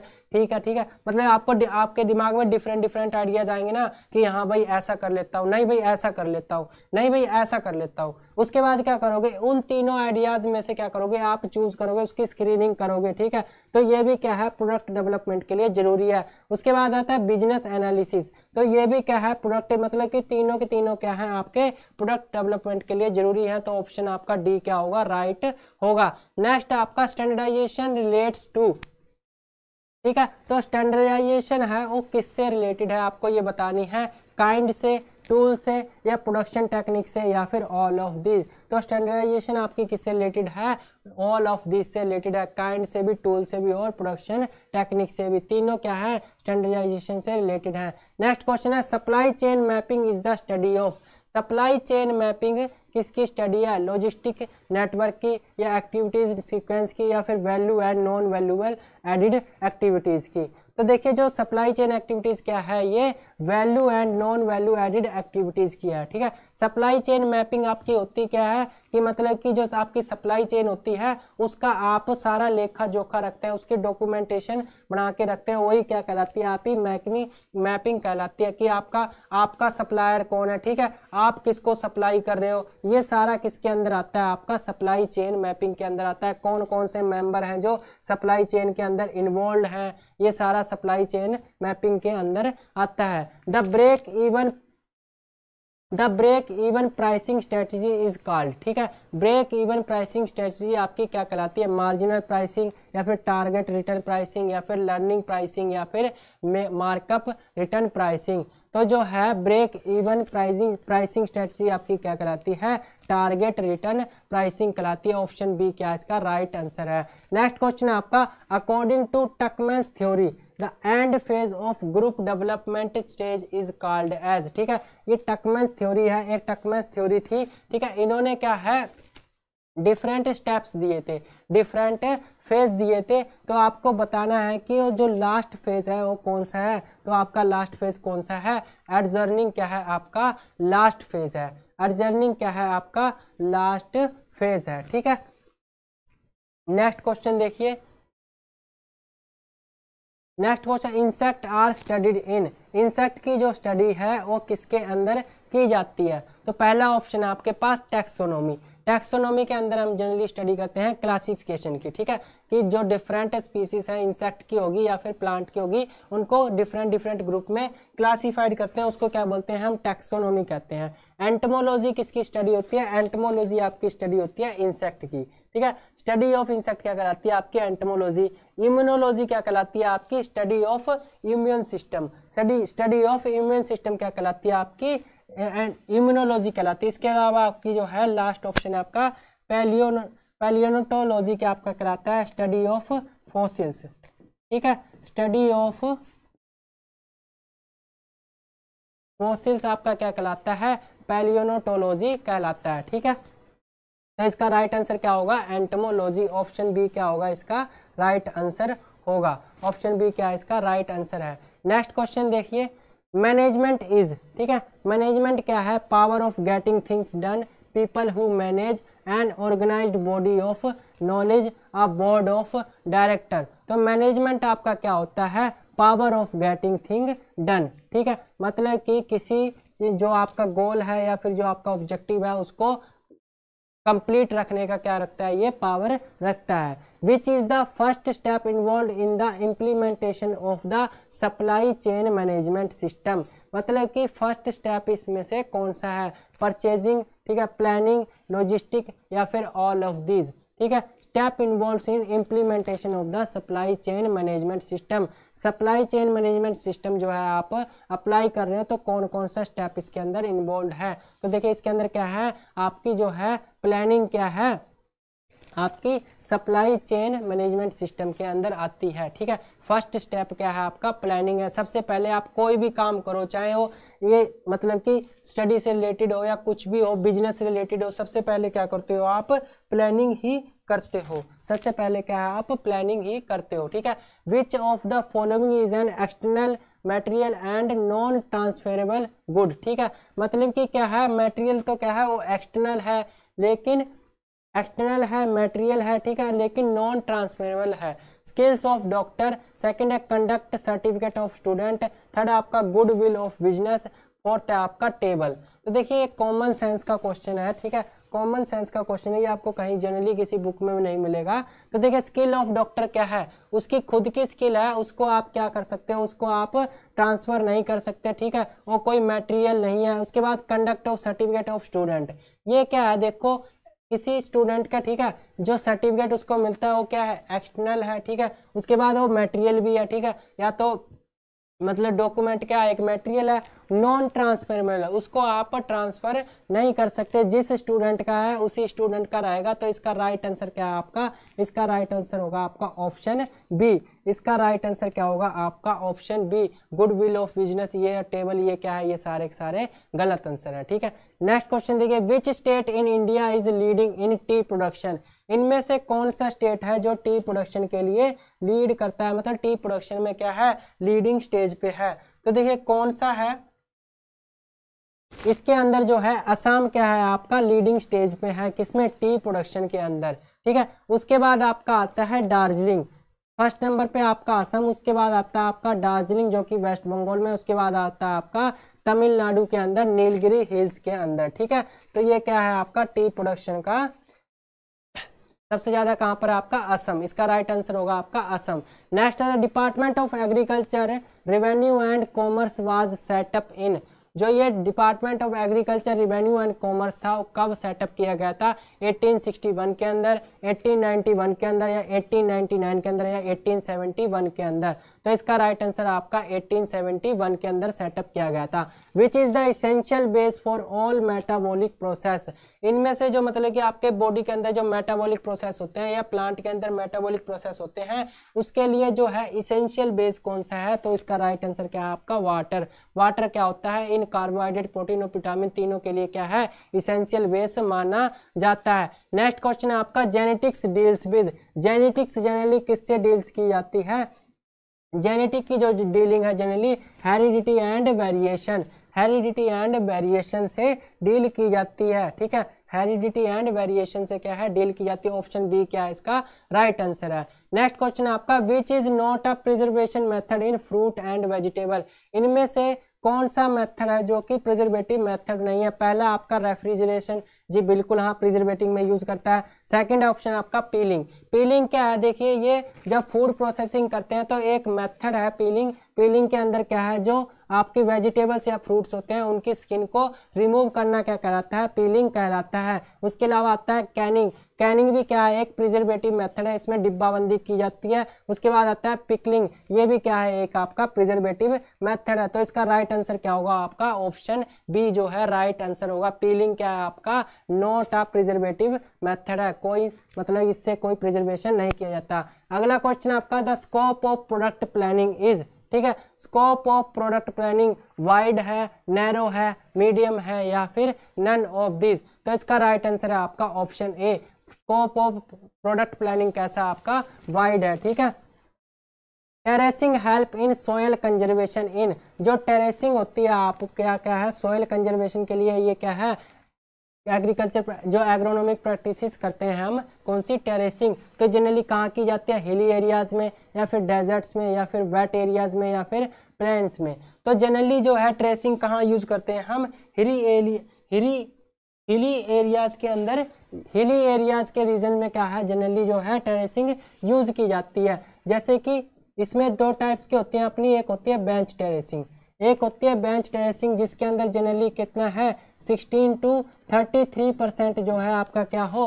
16 टू 33 परसेंट आपकी क्या होती है? स्लोप होती है तो आपको बेंच टेरेसिंग यूज़ करते हैं। दूसरी होती है आपकी जिंग टेरेसिंग जिंग टेरेसिंग के अंदर generally three to ten percent आपकी स्लोप होती है तो आपको क्या है जिंग टेरेसिंग यूज़ करते हैं। तो इसका राइट आंसर क्या है? ऑप्शन ए हिली एरियाज़ के अंदर जो टेरेसिंग यूज़ की जाती है। नेक्स्ट क्वेश्चन है the practice of raising plants and animals is called ठीक है? प्लांट्स और एनिमल्स को, दोनों को ग्रो करना आपका क्या कहलाता है? वो कहलाता है आपका एग्रीकल्चर वो क्या कहलाता है? आपका एग्रीकल्चर एग्रोनॉमी क्या होता है? मैनेजमेंट ऑफ़ फ़ील्ड इसके साथ ही साथ है प्रिंसिपल्स और जो आपकी एग्रीकल्चरल प्रैक्टिसेस होती हैं, उनकी स्टडी करना किसमें आता है? एग्रोनॉमी के अंदर आता है। हॉर्टिकल्चर के अंदर जनरली क्या है? फ्रूट्स वेजिटेबल्स इसके अलावा जो है आपके मेडिसिनल एंड एरोमेटिक प्लांट है, उनकी क्या की जाती है? कल्टिवेशन की जाती है। ठीक है? जो आपका ऑप्शन सी है उसका क्या है? सिल्वी कल्चर। सिल्वी कल्चर के अंदर क्या है? जनरली जो फॉरेस्ट होते हैं, उनका क्या करना? मैनेजमेंट करना, उनको ग्रो करना, उनको स्प्रेड करना किसके अंदर आता है? आपका सिल्वी कल्चर के अंदर आता है। तो इसका राइट आंसर आपका एग्रीकल्चर ठीक है? नेक्स्ट क्वेश्चन है आपका the branch of agriculture which deals with the principle and practice of crop production and field management is called तो हम उसको क्या कहते हैं? उसको कहते हैं हम एग्रोनोमी ठीक है? उसको हम क्या कहते हैं? एग्रोनोमी एग्रीकल्चर मैंने आपको बता दिया सेरिकल्चर क्या होता है? Cultivation of cultivation of mulberry ठीक है? कल्टीवेशन ऑफ़ मलवेरी क्या कहलाता है आपका? सैरी कल्चर कहलाता है। जो मलवेरी कैटरपिलर होता है ना, बोम्बिक्स, मोरी, ठीक है? उसका कल्टीवेशन करना क्या कहलाता है? आपका सैरी कल्चर कहलाता है। एग्रो फॉरेस्ट्री क्या कहलाता है? आपका एग्रीकल्चर प्लस फॉरेस्ट्री दोनों का कल्टी दोनों का कल्टीवेशन क्या कहलाता है? आपका एग्रो फॉरेस्ट्री कहलाता है। मतलब कि एग्रो कल्चर जो एग्रीकल्चरल क्रॉप्स हैं, वो भी ग्रो करते हैं आप। उसके अलावा फॉरेस्ट भी साथ में ग्रो करते हैं, ठीक है? नेक्स्ट आपका which of the following countries is the centre of origin of rice इनमें से कौन सी कंट्री है जो कि क्या है? राइस का ओरिजिन कही जाती है। कौन सी कंट्री को कहा जाता है? तो इंडिया को क्या है? राइस का ओरिजिन कहा जाता है। इसके अलावा जो है सेकंड पे है कौन? चाइना ठीक है? वैसे कौन सा है इसका? साउथ ईस्ट एशिया जो क्या है? साउथ ईस्ट एशिया जो आता है, आपका किसके अंदर आता है? राइस के ओरिजिन में बोला जाता है, जिसमें क्या आपका इंडिया और चाइना आता है। What is the what is the product ठीक है? वट इज़ अ प्रोडक्ट अब आप प्रोडक्ट किसको बोलोगे? फ़िज़िकल गुड्स को सर्विसेज़ को आइडियाज़ को या फिर ऑल ऑफ़ दीज को? देखिए जनरली हम क्या है? अगर इकोनॉमिक्स की बात करें तो जो ठीक है जनरली क्या है? अगर इकोनॉमिक्स की बात करें तो जो प्रोडक्ट आपका क्या होता है? प्रोडक्ट हम उसको कहते हैं इकोनॉमिक्स के अंदर, जिसको हम क्या कर सकते हैं? सेल कर सकते हैं। जिसको हम क्या कर सकते हैं मार्केट में सेल कर सकते हैं, उसको हम क्या कहते हैं प्रोडक्ट करते प्रोडक्ट कहते हैं। अब ये प्रोडक्ट आपका क्या है? आपकी कोई फ़िज़िकल गुड्स हो सकती है, ठीक है? या फिर आपकी कोई सर्विस हो सकती है, जैसे क्लीनिंग सर्विस देना, या फिर जो रिपेयरिंग वगैरह होती है, वो सर्विसेज़ हो सकती हैं। या आपका कोई आइडिया हो सकता है, ठीक है? आपका कोई आइडिया हो सकता है, जिसको क्या कर रहे हो आप मार्केट में सेल कर रहे हो। आपने कोई आइडिया सोचा अच्छा सा, और आपने क्या किया? किसी कंपनी को सेल कर दिया तो ये भी क्या हो गया? आपका एक प्रोडक्ट हो गया। मतलब कि प्रोडक्ट आपका क्या होता है? ऐसा मटेरियल जिसको आप क्या हो, बेच सकते हो सेल कर सकते हो, क्या आता है? प्रोडक्ट के अंदर आता है। तो ये सारी की सारी चीज़ें क्या है आपकी? प्रोडक्ट के अंदर आएगी और आंसर क्या होगा आपका? ऑल ऑफ़ दिस इसका राइट आंसर होगा, ठीक है? ऑल ऑफ़ दिस इसका राइट आंसर होगा। नेक्स्ट क्वेश्चन है आपका।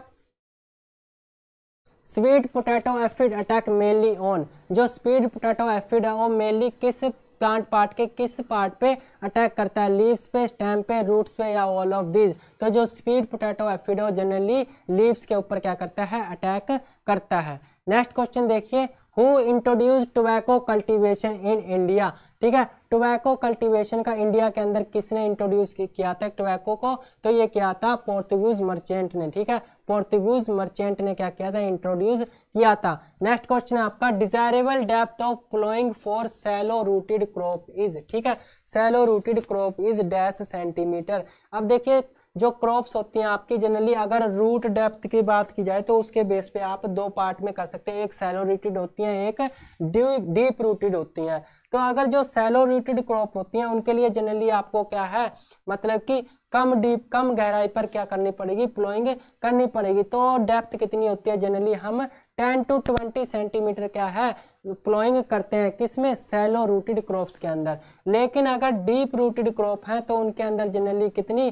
15 टू 30 सेंटीमीटर क्या करी जाती है? आपकी प्लोइंग की जाती है। तो इसका राइट आंसर क्या है आपका? इसका राइट आंसर जो है ऑप्शन डी ठीक है सेलो रूटेड के लिए कितना चाहिए आपको? 10 टू 20 सेंटीमीटर क्या आपकी उसकी प्लोइंग करते हैं और डीप रूटेड के लिए कितनी? 15 टू 30 सेंटीमीटर आपको प्लोइंग करनी होती है, ठीक है? Nymph of red cotton bug also damage ठीक है?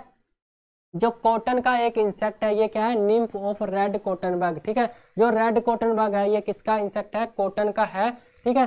तो ये क्या करता है? इसका जो निम्फ स्टेज होती है, ये क्या करती है? किसी और क्रॉप को भी डैमेज करती है। आपको बतानी है, वो क्रॉप कौन सी है? ग्राम है वीट है सुगर केन है या फिर लेडी फिंगर है। तो देखिए nymph of red cotton bug है वो सुगर केन को भी क्या करता है? इन्फेक्ट करता है। सुगर केन को भी क्या है? डैमेज करता है। नेक्स्ट क्वेश्चन है आपका। Situation situational approaches in otherwise called as ठीक है? Situational approaches is otherwise called as उसको हम क्या कहते हैं? सिस्टम अप्रोच या फिर कॉन्टीजेंसी अप्रोच या फिर ह्यूमन रिसोर्स अप्रोच या फिर क्वांटिटेटिव अप्रोच तो उसको हम क्या कहते हैं? उसको हम कहते हैं कॉन्टीजेंसी अप्रोच अप्रोच ठीक है? ऑप्शन बी क्या आपका? राइट right आंसर है। इस क्वेश्चन पेपर का लास्ट क्वेश्चन देखिए क्या है? The main purpose of a farmer is farmer का मेन पर्पज क्या है? High net profit, high living standard या फिर मिनिमम कॉस्ट ऑफ़ कल्टीवेशन या फिर हाई प्रोडक्शन। जो फार्मर्स का मेन मोटो क्या है? मेन पर्पज उसका है हाई प्रोडक्शन। मेन पर्पज क्या है उसका? High production. इसके अलावा देखिए, एक इम्पोर्टेंट इन्फॉर्मेशन है आपके लिए। अगर आप क्या हैं आई पी एस अगर क्या है आप आई पी एस की तैयारी कर रहे हैं तो हमारे द्वारा ये कोर्स लाया जा रहा है, जिसके अंदर आपको pre plus mains plus interview pre plus mains plus interview की क्या है आपको पूरी जो है आपको डायरेक्शन दी जाएगा स्टडी मटेरियल वगैरह सब कुछ। देखिए इस कोर्स के अंदर क्या क्या आपको वीडियो क्लासेस आपको मिल जाएँगी प्री प्लस मेंस दोनों के लिए। इसके साथ ही साथ जो आपको स्टडी मटेरियल है प्री प्लस मेंस दोनों के लिए मिलेगा। इसके साथ ही साथ जो है सेवेंटी प्लस मॉक टेस्ट आपको मिल जाएँगे प्री प्लस मेंस दोनों के। आपको क्या है प्रीवियस ईयर के जो रिवीजन क्वेश्चन पेपर हैं सॉल्व वो भी मिल जाएँगे। जो इस कोर्स का जो प्राइस है, वो सिर्फ़ और सिर्फ़ sixteen hundred ninety nine rupees है। अगर आप इस कोर्स को परचेज करना चाहते हैं तो जो परचेजिंग लिंक है, आपको वीडियो के डिस्क्रिप्शन में मिल जाएगा। इसके अलावा आप जो है, इस कोर्स को आप हमारी website G agriculture G K dot in से भी परचेज कर सकते हैं, ठीक है? तो ये थी हमारी आज की क्लास उम्मीद करता हूँ आपको आज की क्लास अच्छी लगी होगी, ठीक है? तो जितना मैं एक्सप्लेन कर सका था, मैंने कर दिया था। इसके अलावा अगर आपको वीडियो अच्छी लगी हो तो इस वीडियो को लाइक कर दीजिएगा, कमेंट कर दीजिएगा और शेयर कर दीजिएगा। साथ ही साथ है, हमारे चैनल को अगर अभी तक आपने सब्सक्राइब नहीं किया है तो उसको सब्सक्राइब कर लें और बेल आइकन को प्रेस कर लें ताकि जो आने वाली नेक्स्ट वीडियो है, उसका अपडेट आपको टाइम टू टाइम मिलता रहे। ठीक है? चलिए मिलते हैं नेक्स्ट क्लास में। खुश रहिए, स्वस्थ रहिए। Thank you.